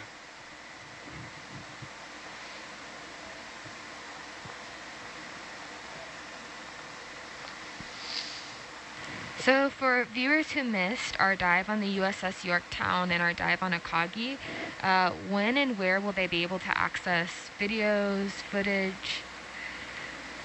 They will. We will be releasing highlights Mhm. um, of all of the dives on Nautilus Live and on YouTube. So Sure. stay tuned. Obviously, this story is still unfolding as Yeah. we're still diving on. Uh, Ed left, right? Up Uh, left. It looks like the uh, bottom of this turret might be eroded away. I might be seeing inside it. Do you see that? Yeah, I'll come out line. yeah, as we're still diving. So absolutely stay tuned for our social media channels and uh, Nautilus Live. Yeah, and this is a 24-hour dive, yes? Uh-huh. 20. 20. So lots, lots more time Yeah. on the seabed. Yeah, that might be just a pattern in the, the, the fouling or corrosion pattern on the face of the, the turret. I'm not sure. Well, the shadows inside are making me think. Um, it's hard with this. Oh, I see what you mean. Yeah, that there's depth. I'd be surprised if something was, you know, if that wasn't quite thick material. Interesting. There's the shadows that. I think I don't think just do that a sh- I don't think that shadows. I think that's the bacterial mats that you were looking Yeah. at We're uh, in the sediment. hazard coming It's up, just the face. Yeah, that's not shadow. Sure. protruding out.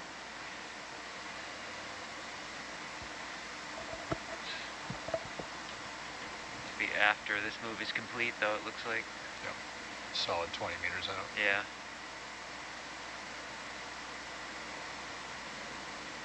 Thank you. Derek, how did you spot that hazard? Were you looking at the sonar or were you just looking at like the video? Oh, we were looking at the sonar image, yeah. Looks like something's going to protrude out from the ship about 20 meters aft of where we are right now. Mm-hmm.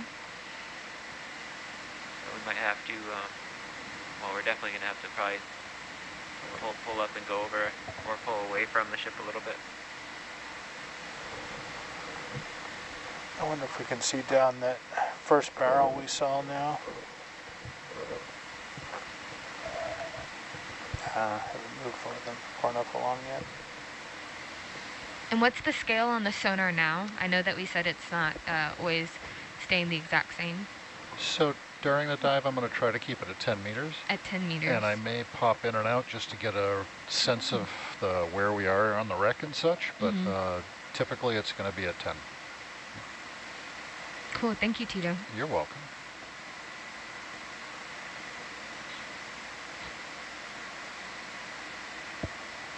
Ed, up, down, sideways? Uh, you're doing fine there. Uh, barrel or that. Uh, that. I just got a quick glimpse of that barrel. It didn't look rifled. What's up above that? Uh, that little thing on the top. I tried to image that earlier, but it's a rack of some sort. I can't write. Where is it? Deck protrusions, maybe? Oh, sorry, runaway zoom.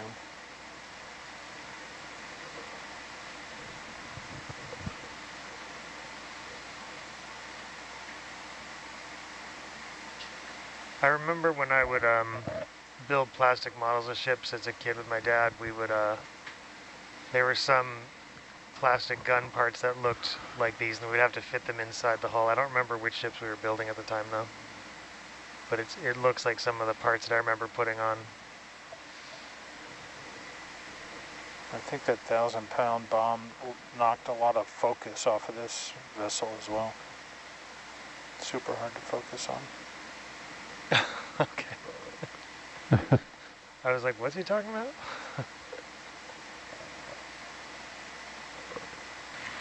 Mike, do you think that like building ships like that when you were young is something that got you interested in this field specifically? No, it was the opposite. Um, after I saw the National Geographic video of uh, Ballard's discovery of the Bismarck at Woods Hole on a field trip, Mhm. um, I then went and tried to make build all the models of from that battle. So, Hmm. uh, yeah, my interest in my sudden consuming interest in shipwrecks had me start building the models of the ships. Mm. I never painted them though because I wasn't any good at that. So they were just the. I thought that the pla- the gray plastic of the models looked Does that look ship-like enough. another turret? Maybe the gun, the barrel's inboard? Oh, that could be yeah. That Oh, could be the fifth one. Just without a barrel. Or it could swing inboard.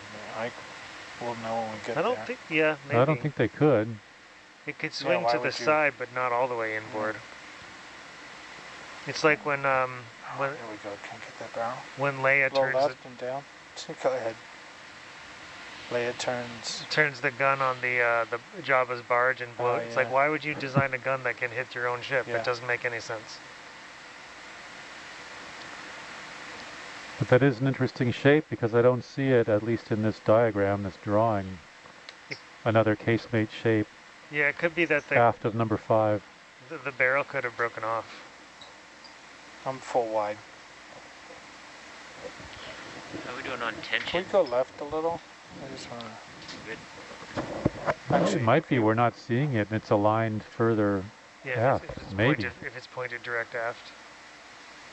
You know, Mike, I remember what we used to do with those plastic models too, and the reenactments and Oh, yeah. destruction that was wrought on those poor Revell models. It's Yeah, like yeah. the protrusion we were seeing, or parts of it. Everybody, I, I, I think if, if, if that's indeed the fifth casemate, it's also worth noting we, we certainly wouldn't expect to see uh, propellers given bloodline, but uh, the, the innermost propeller would be with furthest aft 20 centimeter case. This would be one of those where one of the four propellers would be just Okay. buried. Yeah, thanks, Phil. Um, I caught most of that. It's um, reminds me of speaking on dive wireless dive comms underwater. Uh, sorry, it's a little bit broken up, but yeah, I'm still wondering if this is the fifth casemate as well because the barrel's not there unless it's pointed further aft, and as you know, those are fairly securely Uh, mounted. I'll do a push when we swing back aft, and we'll get a better view here. View of the barrel. These 20 millimeters don't look like, sorry, runaway zoom, don't look like they were uh, rifled. Hmm. It is the right Runaway. shape to be the fifth Runaway. Stop. casemate. Sorry, I'm in a comms issue here. Okay, there we go. Nope, no I'm zooming out. Yeah, I'm just wondering where the barrel is wide. Yeah, because if if it's if it falls out, there's no hole for the right. It could be turned all the way aft. and beneath those rusticles. Yeah, if we're at the uh, same area as the propeller, we're probably in the original design aft of the house, so it could be something that might be able to aim aft. Oh, it looks like there's a porthole too, that doesn't line up.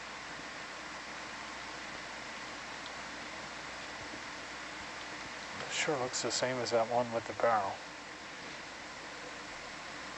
Let's see something here real quick. Can I focus on that? Up, down, sideways, up? Uh, right there. Ah, I'm pulling out. Oh well.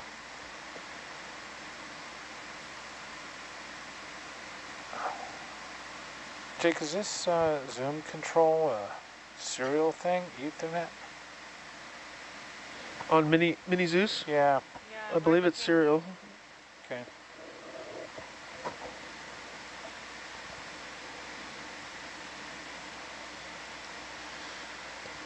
Great, you guys. Now I want breakfast. You just said cereal. Ah. Could be a loose connection in the J box, maybe. Oh, let's see if I can get Sorry for the zooming in and out. It's the only way I can halt the zoom. Yeah, there are the, the portholes aft. I don't know where the barrel is, if that's a casemate gun.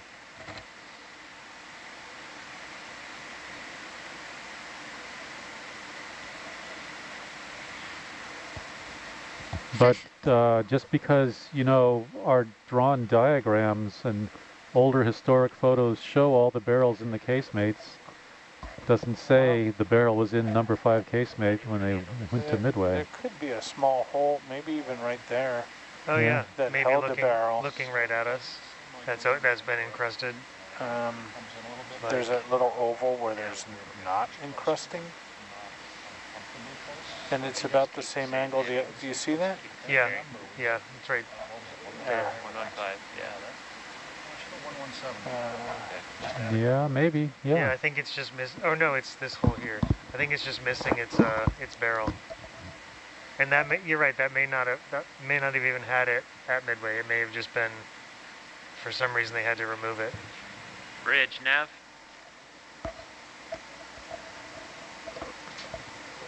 I'd like to do a ship move 20 meters, bearing 117. yeah, I might keep an eye on this Push on hazard what's to our right. top of there?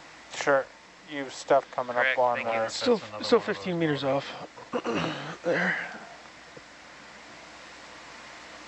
A little different. Wasn't there one above the other as well? Somebody could go back and look at that. Uh, I meant in the footage, not in uh, space. In Most time. the other one had like that uh, tray above it. Yeah, yeah, I think you're right.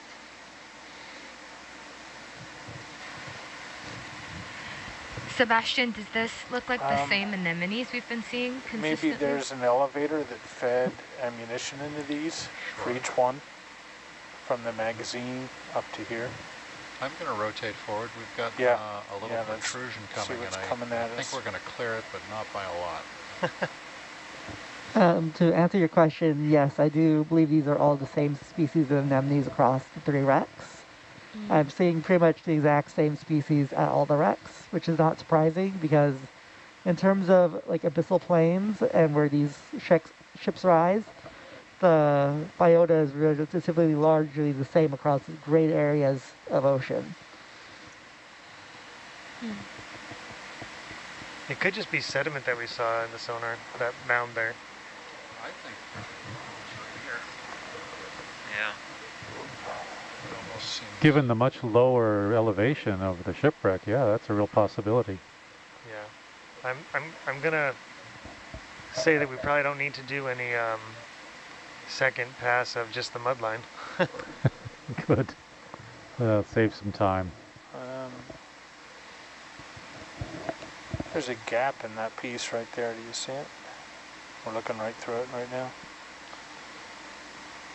Yeah, that's more of those holes to in the metal to save uh, save on weight.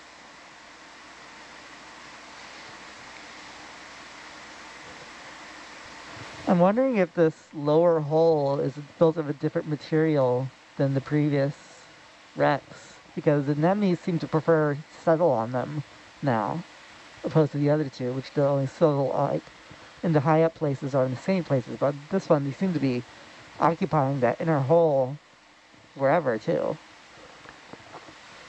Yeah, but these these would have been the same materials.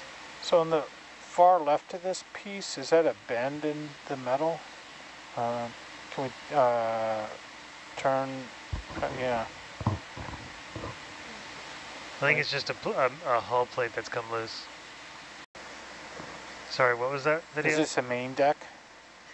Uh, Uh, that we saw two, two bases to the left of these two guns. So this may be number four. Uh, did you hear that, Science? The shore was saying they thought they saw two bases to the left of these, so this may be Okay. number four.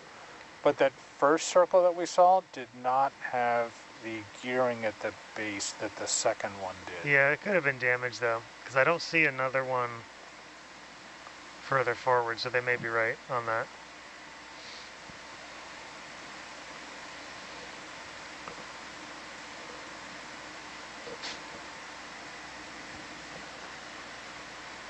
Our colleagues on the science chat note that the dome part of these casemate guns is part of the non-rotating structure above the gun. So it's just that the face of the uh, the cylinder there with, with the barrel that rotates. Hmm.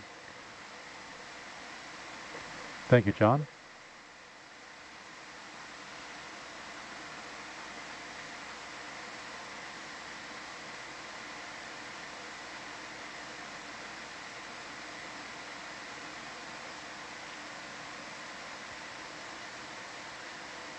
There's um, there's going to be five more of these, or a, a maximum of five more of these uh, to see on the other side.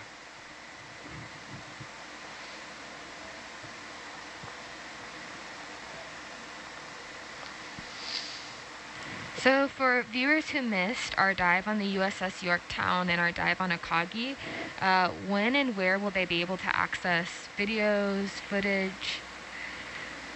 They will. We will be releasing highlights Mhm. um, of all of the dives on Nautilus Live and on YouTube. So So- stay tuned. Obviously, the story is still unfolding as Yeah. we're still diving on. Uh, Ed left, right? Up, Uh, left. It looks like the uh, bottom of this turret might be eroded away. I might be seeing inside it. Do you see Yeah. that? Yeah, come out line.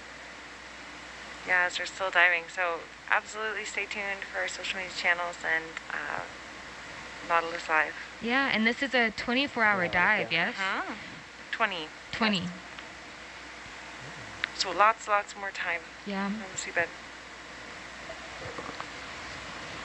Yeah, that might be just a pattern in the, the, the fouling or corrosion pattern on the face of the, the turret. I'm not sure. Well, the shadows inside are making me think. Um, it's hard with this.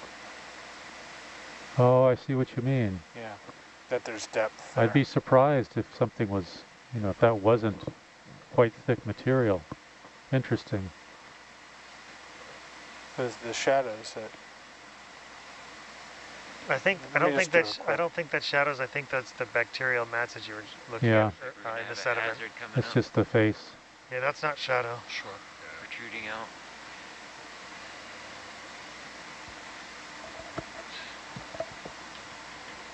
After this move is complete, though, it looks like. Yep. Solid 20 meters out. Yeah.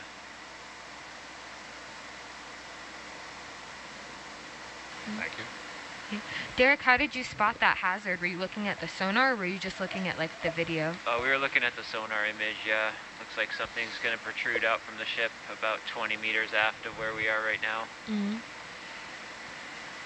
So we might have to, um, well, we're definitely going to have to probably pull, pull up and go over or pull away from the ship a little bit. I wonder if we can see down that first barrel we saw now. Uh, haven't moved far, far enough along yet. And what's the scale on the sonar now? I know that we said it's not uh, always staying the exact same So during the dive, I'm going to try to keep it at 10 meters. at 10 meters. And I may pop in and out just to get a sense of the where we are on the wreck and such, but Mhm. uh, typically it's going to be at 10. Cool, thank you, Tito. You're welcome.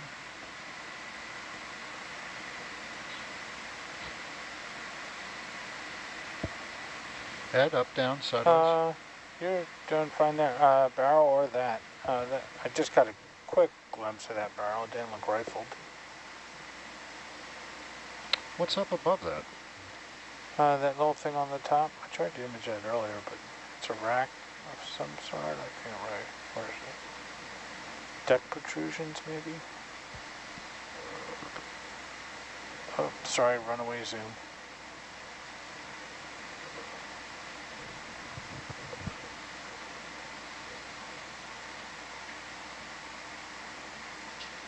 I remember when I would um, build plastic models of ships as a kid with my dad, we would, uh, there were some plastic gun parts that looked like these and we'd have to fit them inside the hull. I don't remember which ships we were building at the time though. But it's, it looks like some of the parts that I remember putting on. I think that thousand pound bomb knocked a lot of focus off of this vessel as well. Super hard to focus on. okay. I was like, what's he talking about?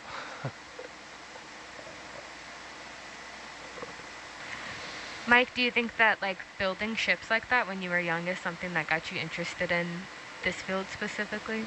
No, it was the opposite. Um, after I saw the National Geographic video of uh, Ballard's discovery of the Bismarck at Woods Hole on a field trip, Mhm. um, I then went and tried to make build all the models of from that battle. So, uh, yeah, my interest in my sudden consuming interest in shipwrecks had me start building the models of the ships. Mm. I never painted them though because I wasn't any good at that. So they were just the. I thought that the pla- the gray plastic of the models looked Does that look ship-like like another enough. turret? Maybe the gun, the barrel's inboard? Oh, that could be yeah. That Oh, could be the fifth one. Just without a barrel. Or it could swing inboard. I mean, I will know when we get I don't there. think. Yeah, maybe. I don't think they could. it could swing why to the would you- side, but not all the way inboard. It's like when um when There we go. Can't get that barrel. when Leia Low turns left and down. Go ahead. Leia turns. the, turns the gun on the uh, the Jabba's barge and blows. Oh, It's like why would you design a gun that can hit your own ship? Yeah. It doesn't make any sense. But that is an interesting shape because I don't see it, at least in this diagram, this drawing. Another casemate shape Yeah, it could be that the aft of number five. the, the barrel could have broken off. I'm full wide. How are we doing on tension? Can we go left a little? I just wanna. Good. it might be we're not seeing it, and it's aligned further Yeah, aft, if, if it's maybe. pointed if it's pointed direct aft. You know, Mike, I remember what we used to do with those plastic models too, and the Yeah. reenactments and Oh, yeah. destruction that was wrought on those poor Revell models. Looks Yeah, like yeah. the protrusion we were seeing, or parts of it. Everybody, I. I, I think if, if if that's indeed the fifth casemate, it's also worth noting we we certainly wouldn't expect to see uh, propellers given bloodline, but uh, the, the innermost propeller would be with furthest aft 20 centimeter case. This would be one of those where one of the four propellers would be just buried. Yeah, thanks, Phil. Um, I caught most of that. It's um, reminds me of speaking on dive wireless dive comms underwater. Uh, I'm sorry, it's a little bit broken up, but yeah, I'm still wondering if this is the fifth casemate as well because the barrel's not there unless it's pointed further aft, and as you know, those are fairly securely Uh, mounted. I'll do a push when we swing back aft, and we'll get a better view here. View of the barrel. These 20 millimeters don't look like, sorry, runaway zoom, don't look like they were uh, rifled. Hmm. It is the right Runaway. shape to be the fifth Runaway, stop. casemate. Sorry, I'm having a comms issue here. Okay, there we go. Nope, no I'm zooming out. Yeah, I'm just wondering where the barrel is Full wide. Yeah, because if if it's it falls out, there's no hole for the right. It could be turned all the way aft. and beneath those rusticles. Yeah, if we're at the uh, same area as the propeller, we're probably in the original design aft of the house, so it could be something that might be able to aim aft. Oh, no, it looks like there's a porthole too, that doesn't line up.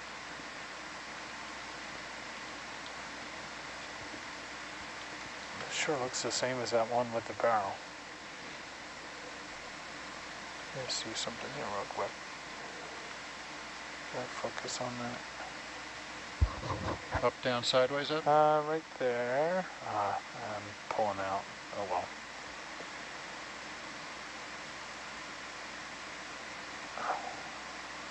Jake, is this uh, zoom control a serial thing? Ethernet? On Mini Mini Zeus, Yeah. I believe it's cereal. Okay.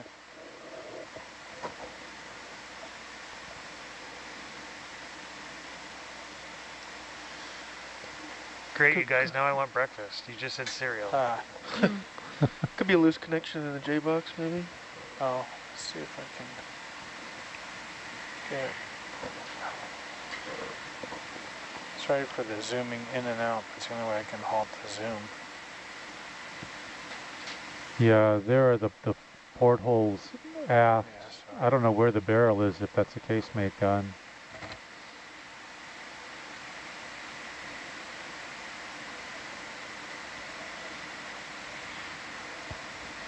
But uh, just because, you know, our drawn diagrams and older historic photos show all the barrels in the casemates, doesn't say the barrel was in number five casemate when they went to Midway. There could be a small hole, maybe even right there.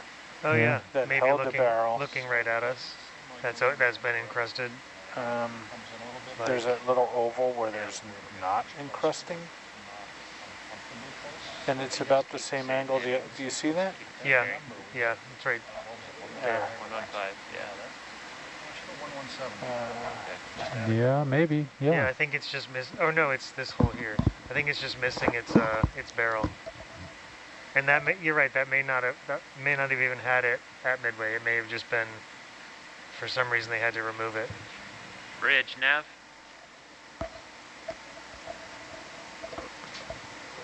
I'd like to do a ship move 20 meters, bearing 117. yeah, I might keep an eye on this Push on hazard what's to our right. top of there? Sure. You've stuff coming Correct, up on thank you. uh, Still, still one of 15 meters off. there. A little different. Wasn't there one above the other as well? Somebody could go back and look at that. Uh, I meant in the footage, not in uh, space. In Also, time. the other one had like that uh, tray above it. Yeah, yeah, I think you're right.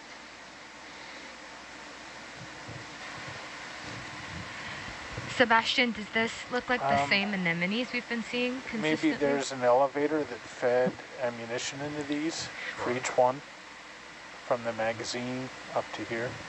I'm going to rotate forward. We've got Yeah. uh, a little Yeah, let's protrusion see coming, what's and I, coming I think us. we're going to clear it, but not by a lot. Um, to answer your question, yes, I do believe these are all the same species of anemones across the three I'm seeing pretty much the exact same species at all the wrecks, which is not surprising because in terms of like abyssal plains and where these ships, ships rise, the biota is relatively largely the same across great areas of ocean. It could just be sediment that we saw in the sonar, that mound there. I think Yeah. it almost seems Given the much lower elevation of the shipwreck, yeah, that's a real possibility. Yeah, I'm I'm I'm gonna say that we probably don't need to do any um, second pass of just the mud line. Good. Uh, save some time. Um, there's a gap in that piece right there. Do you see it? We're looking right through it right now. Yeah, that's more of those holes to in the metal to save uh, save on weight.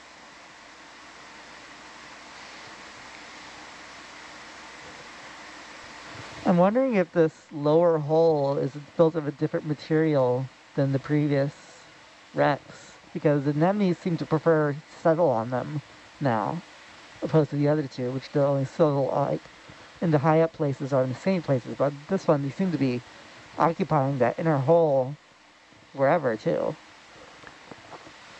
Yeah, but these these would have been the same materials. So on the far left of this piece, is that a bend in the metal? Uh, can we uh, turn? Uh, yeah. I think it's just a, pl- a, a hull plate that's come loose. Ed, left, right? Uh, right there. Yeah. I. c- Ed, left, right? Uh, right there. Yeah. I can't really tell from here. I'm sorry. What You're. We're good. Roger We're good. It's pretty dramatic the way the rusticles, you know, kind of graphically demonstrate the, the corrosion of the steel and, you know, how the steel is essentially just melting Yeah. and pouring into the onto the ocean floor. This does seem like a large chunk of ship that just broke off, because this would have been interior, would it not? Yeah, through that plate it would have been. Yeah. This is the this is the stern at this point. I mean, we're we're pretty close to it. Um, so there wouldn't have actually been a, a lot of superstructure. There would have been uh, supports holding up the flight deck, but we're actually, I think, just at the spot where the hangar deck would have ended. Right, getting close to that. Probably right over there on the right. That that piece that sticks up is probably one of the supports.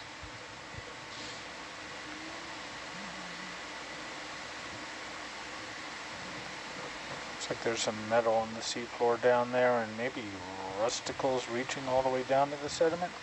Three of them. Yep. Looks like our next move we're going to have to angle. Uh, okay, yeah. Yeah, looking at the sonar and judging out. from where we are, we expect the aircraft carrier to flatten out and just become that Battleship stern. Oh, right. Okay. Uh, probably wait till this settles out a little bit. Um, or, you know what? Maybe back to 115.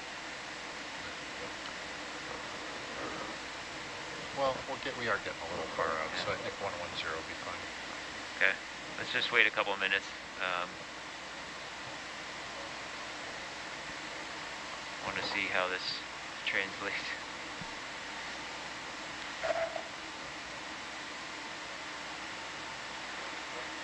Hmm? Not yet. It's on at 7.30. yeah. I know because I'm on this watch.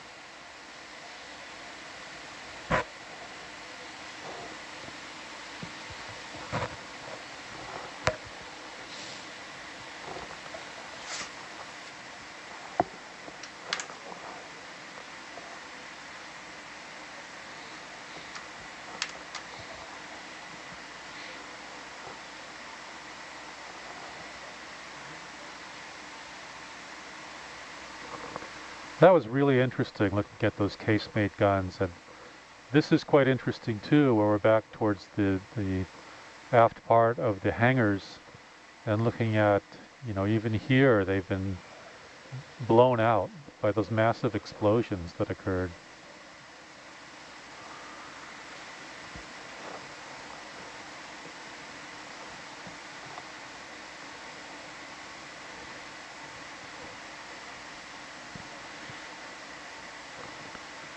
On the wreck of the Akagi, the Japanese aircraft carrier Akagi, of course, the flight deck was incredibly damaged, but we still had, you know, hangar superstructure all the way to the end where the just the aft portion had been opened up. But here, almost none of the hangar superstructure still exists. We even had parts of Akagi that where the flight deck was still existed, like it was torn off and it was flipped over, but it still, we could still see pieces of it. I don't think the flight deck, right? There's nothing of it still even present. Nothing so far on the Kaga. Hey, Nautilus, uh, ECC, can you hear us okay? Yeah, yep. sounds clear. great now. Thank you. Loud and clear. Well, I, you know, I, I, moved the fan that was pointing right at the microphone, so maybe that helps. Oh, yeah, ah. that's, um, uh, yeah, good idea. Yeah, wow. Good work, Phil. Um, the uh, the aft deck where the, the small boats would be housed, I mean, that was all fairly open. Jeff is, is mentioning this, and the hangar deck, I think, ends a little bit further forward than where we are. Could potentially this be some of those lower decks that are just blown out and folded over, and, and maybe the hangar deck? Yeah, I, I agree. In fact, I'm looking at that, that pillar or post right there, wondering if that's the first support for the elevated flight deck high above. Oh, the heck? Did you turn on the light? Nope, that was Iris, I think. Must have been interesting to be the uh, the Japanese uh, shipbuilders who were like suddenly, oh no, you're now building an aircraft carrier. Well, put a flight yeah. deck on that. Um, okay.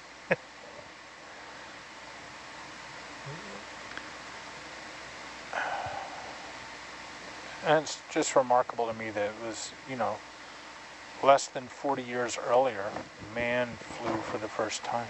Oh yeah. Oh, yeah.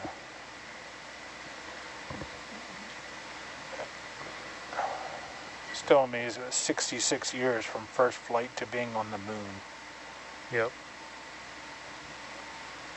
Yeah, Phil and, and Shore Team, I, you know, I don't know that that's a support post. I don't see it extending down to the, the deck of the battleship.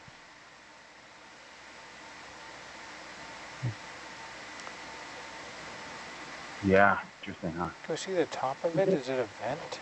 No. Looks solid.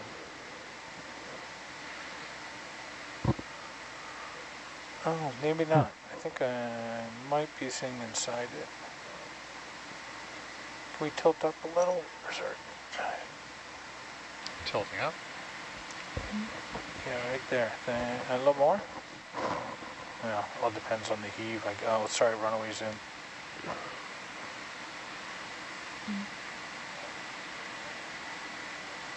There you Head go. left, right. Uh, that's what I'm looking for right there. Let me just, That looks like somebody could get in there. yeah. Uh, and, uh, It almost looks like a stove. Wait, It's not. It has but that shape, Just yeah. like yeah, with the Coming open out. pit in there. and so is this the end of the vessel or is it continuing? There, in the sonar, there's a little bit more forward and to the right, but I don't. It may not be preserved out here where we are. Yeah, I think I see a small rise from the sediment, but we'll know when we get there. We've still got to make our way to the fantail. We're at the near the end of the hangar deck. Yeah, we're um we're wondering if the fantail's there. Ah, I Yeah. see. Because I think it is. I'm I s- think you can see it. yeah, just very, very low relief. Yeah. Well, it would be much, yeah, I don't know. It does drop down right around here or further back.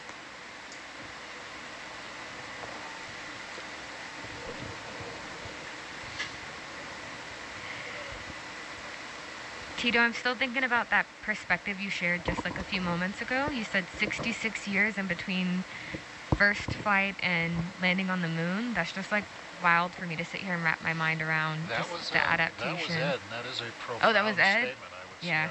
Uh, Neil Armstrong took with him to the moon a canvas piece of the wing of uh, the Wright brothers plane Oh, and really? uh, I didn't piece know of that.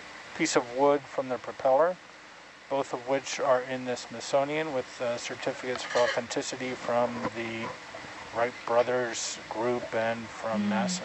Huh? I did not know that. That's very Uh, As a cool. matter of fact, I have an image of that on my phone.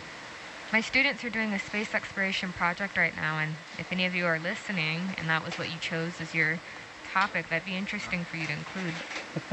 No cheating off head. And your teach and your teacher now expects you to include it to test to see if they're watching.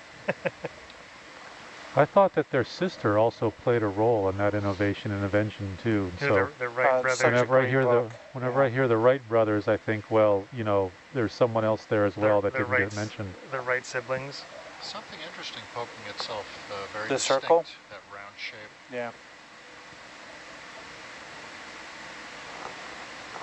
Wow, Ed, this is incredible. Yeah. I did not know that. One lifetime. Hmm. There's a good book on the Wright brothers. Is it Walter Isaacson who wrote that?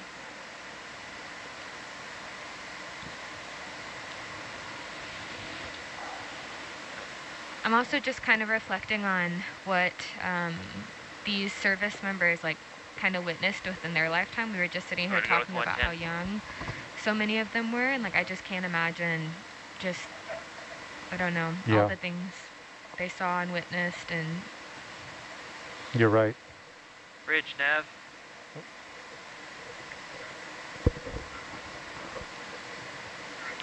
Ship move, please. Two zero meters, bearing one one zero. Thank you.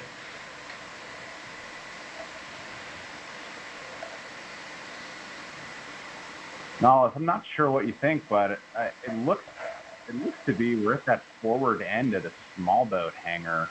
Um, Yeah. with the curvature of the hull. I, what, what do you suppose that uh, that pulpit is? I mean, could that be kind of a director's position, or or is that just a support piece? I think that's a support piece right behind the uh, the the that area. Yeah, it's exactly where Hans is moving his ma- mouse cursor, but you can't see that.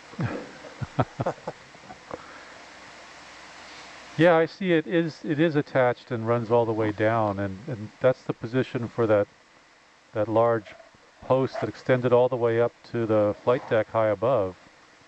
And then there'll be, you know, of course the two more pylons or pillars on the port side here as we move towards the uh, fantail.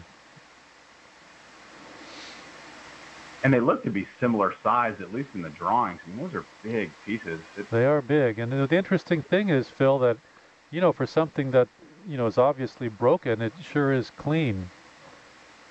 There sure is a flat. That There's is You- you circle think- all we have. inboard, dead ahead. That's all we have of the stern. Oh. See that circle? Huh? Uh, control four. say it The isn't circle so. right there. Yeah, something there.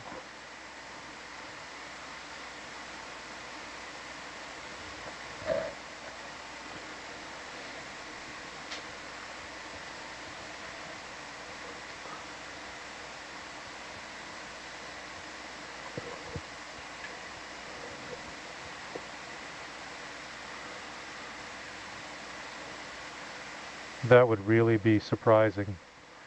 You know, both at the bow and stern, when the hull comes together and narrows, and you know the framing patterns, you know, support all that, and and you have you know solid transoms. I mean, that's pretty strong structure. Yeah.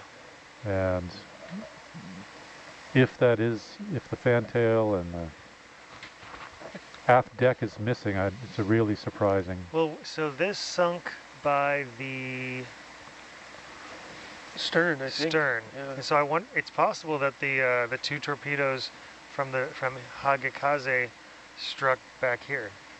Yeah, maybe.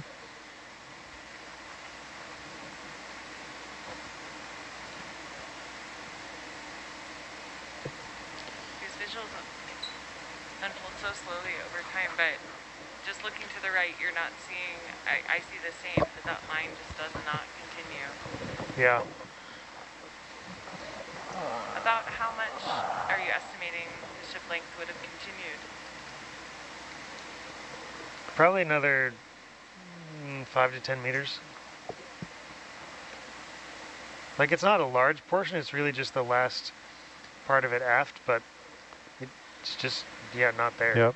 The boat deck, the fair leads for mooring lines, etc. Now, if it if the wreck or if the ship did strike the seabed stern first, it could have fall, snapped off and fallen forward, and then the rest of it's buried in mud. Yeah, this vessel is really deeply buried. Yeah. But both visually and on sonar, we're running out of hull here. It Yeah. looks like, yeah. Yeah. Well- Megan, are you on mm-hmm. train or belt? I'm on train. Thank you. I'm moving around to keep you on your toes. Yeah, I heard your voice. I looked back in the studio. I'm like, well, she's not there. Where is she? I, I had the same experience. I experience. see you It now. could be anywhere. Um, this sediment, it looks pretty similar to what we've been seeing at Akagi in Yorktown. Is that, y'all agree with that? Yeah. I feel like I can't really tell much about it. I mean, it, yeah, it's hard to tell, but um, just looking at sediment, but it, it does have that same um, muddy look, uh, and and we can see where um, the the wreck. Land- Can't really tell from here. I'm sorry. What You're, we're good. Roger We're good. It's pretty dramatic the way the rusticles, you know, kind of graphically demonstrate the, the corrosion of the steel and, you know, how the steel is essentially just melting yeah. and pouring into the onto the ocean floor. This does seem like a large chunk of ship that just broke off, because this would have been interior, would it not? Yeah, through that plate it would have been, yeah.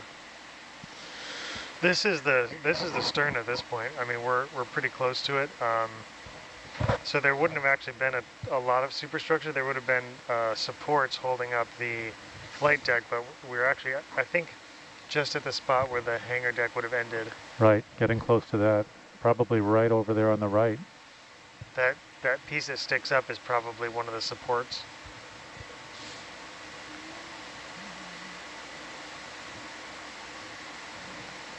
Looks like there's some metal on the seafloor down there and maybe rusticles reaching all the way down to the sediment. Three of them. Yep. Looks like our next move we're gonna have to angle. Uh, okay. Yeah. Yeah, looking at the sonar and judging from where we are, we expect the aircraft carrier to flatten out and just become that battleship stern. Oh, right. Okay. Uh, probably wait till this settles out a little bit. Um, you know what? Maybe back to 115.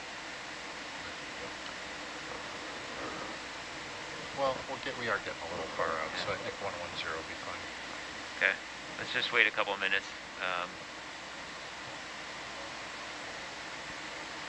want to see how this translates.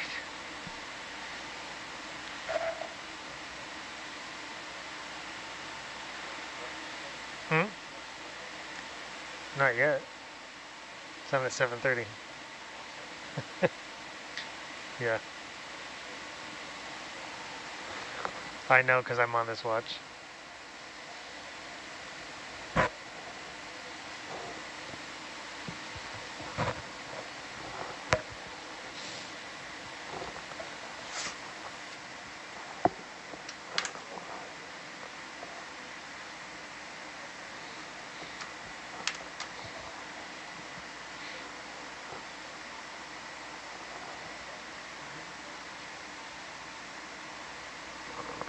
That was really interesting looking at those casemate guns. And this is quite interesting too, where we're back towards the, the aft part of the hangars and looking at, you know, even here they've been blown out by those massive explosions that occurred.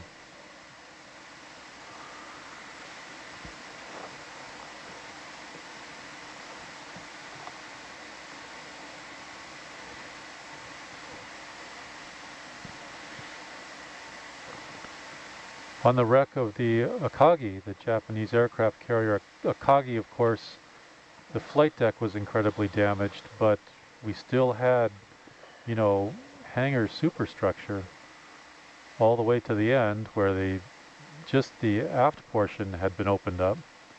But here, almost none of the hangar superstructure still exists.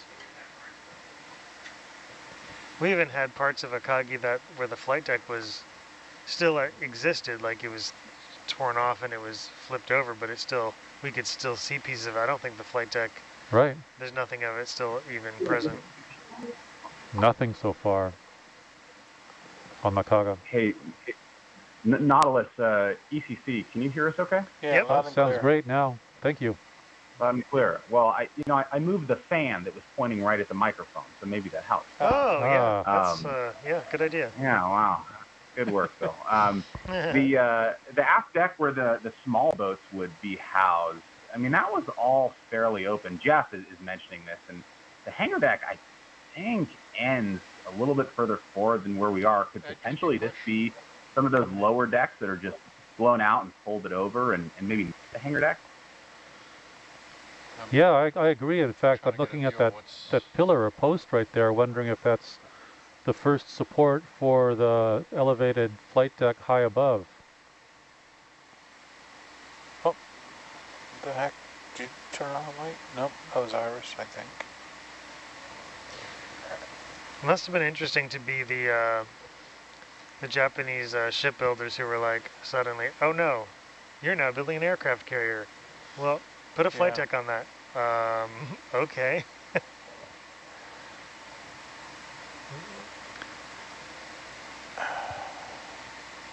And it's just remarkable to me that it was, you know, less than 40 years earlier, man flew for the first time. Oh, yeah. Oh, yeah.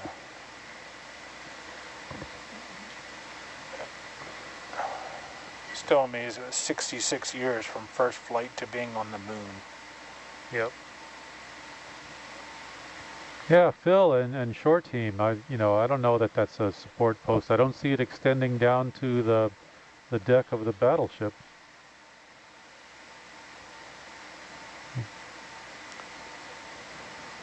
Yeah, interesting, huh? Can we see the top of it? Is it a vent? No. Looks solid.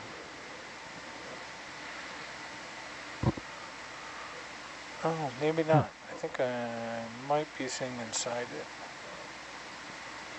Can we tilt up a little? Or is there... Tilting up. Yeah, right there. Then a little more? Yeah, all depends on the heave. Like, oh, sorry, runaway zoom.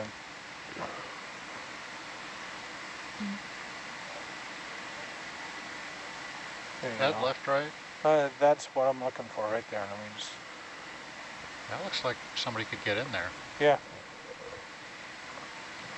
Uh, and uh, It almost looks like a stove. Wait, It's not. it has but it that shape. just yeah. yeah, like yeah, with the Coming open out. pit in there. And so is this the end of the vessel, or is it continuing? The, in the sonar, there's a little bit more forward and to the right, but I don't. It may not be preserved out here where we are. Yeah, I think I see a small rise from the sediment, but we'll know when we get there. We've still got to make our way to the fantail.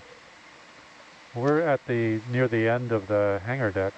Yeah, we're um we're wondering if the fantail's there Oh, I Yeah. see. I think it is. I'm I s- think you can see it. yeah, just very, very low relief. Yeah. Well, it would be much, yeah, I don't know. It does drop down right around here or further back.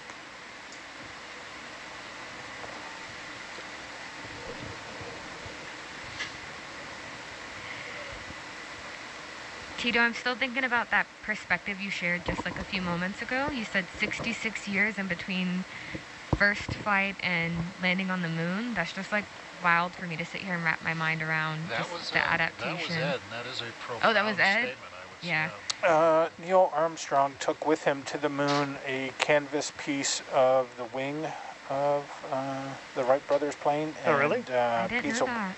piece of wood from the propeller, both of which are in the Smithsonian with uh, certificates for authenticity from the Wright brothers group and from Hmm. NASA. Huh? I did not know that. That's very Uh, As a cool. matter of fact, I have an image of that on my phone. My students are doing a space exploration project right now, and if any of you are listening and that was what you chose as your topic, that'd be interesting for you to include. No cheating off head. And your teacher and your teacher now expects you to include it to test to see if they're watching. I thought that their sister also played a role in that innovation and invention too. Who, So the, the Wright Uh, brothers. whenever I hear book, the whenever yeah. I hear the Wright brothers, I think, well, you know, there's someone else there as well the, that the didn't Wrights, get mentioned. The Wright siblings. Something interesting poking itself uh, very The distinct, circle? that round shape. Yeah. Wow, Ed, this is incredible. Yeah. I did not know that. One lifetime. Hmm. There's a good book on the Wright brothers. Is it Walter Isaacson who wrote that?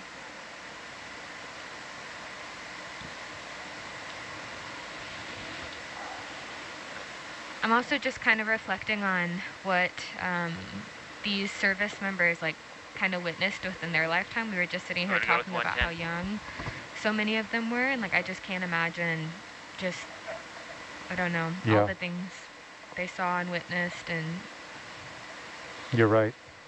Bridge nav.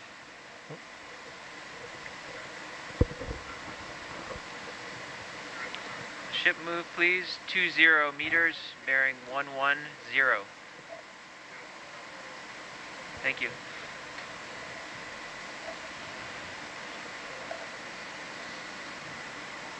No, I'm not sure what you think, but it, it looks it looks to be we're at that forward end of the small boat hangar, um, Yeah. with the curvature of the hull. I, what, what do you suppose that uh, that pulpit is? I mean, could that be kind of a director's position, or or is that just a support piece? I think that's a support piece right behind the uh, the the that area, yeah. It's exactly where Hans is moving his ma- mouse cursor, but you can't see that. Yeah, I see it is it is attached and runs all the way down and, and that's the position for that that large post that extended all the way up to the flight deck high above. And then there will be, you know, of course, the two more pylons or pillars on the port side here as we move towards the uh, fantail.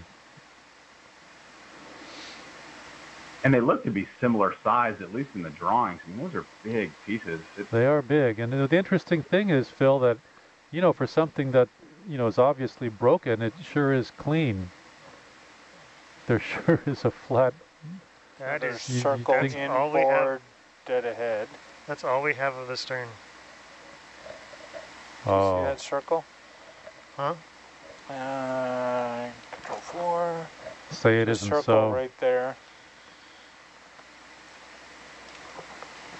Yeah, something there.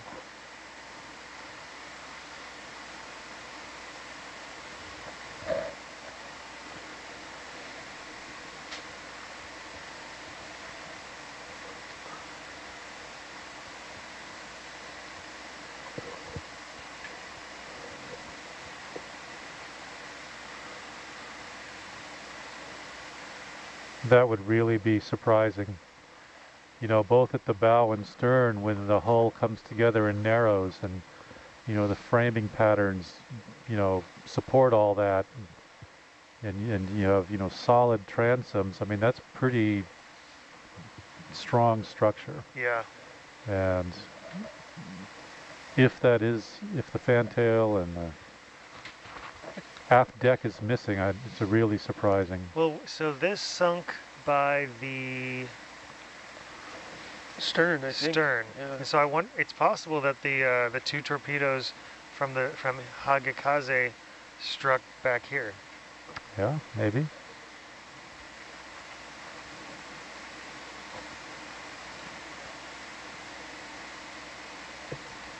These visuals unfold so slowly over time, but just looking to the right, you're not seeing, I, I see the same, but that line just does not continue. Yeah. About how much are you estimating the ship length would have continued? Probably another mm, five to ten meters. Like it's not a large portion. It's really just the last part of it aft, but it's just yeah, not there. Yep. The boat deck, the fair leads from mooring lines, etc. Now, if it if the wreck or if the ship did strike the seabed stern first, it could have fall, snapped off and fallen forward, and then the rest of it's buried in mud. Yeah, this vessel is really deeply buried. Yeah. But both visually and on sonar, we're running out of hull here. It Yeah. looks like, yeah. Well- Megan, are you on train or belt?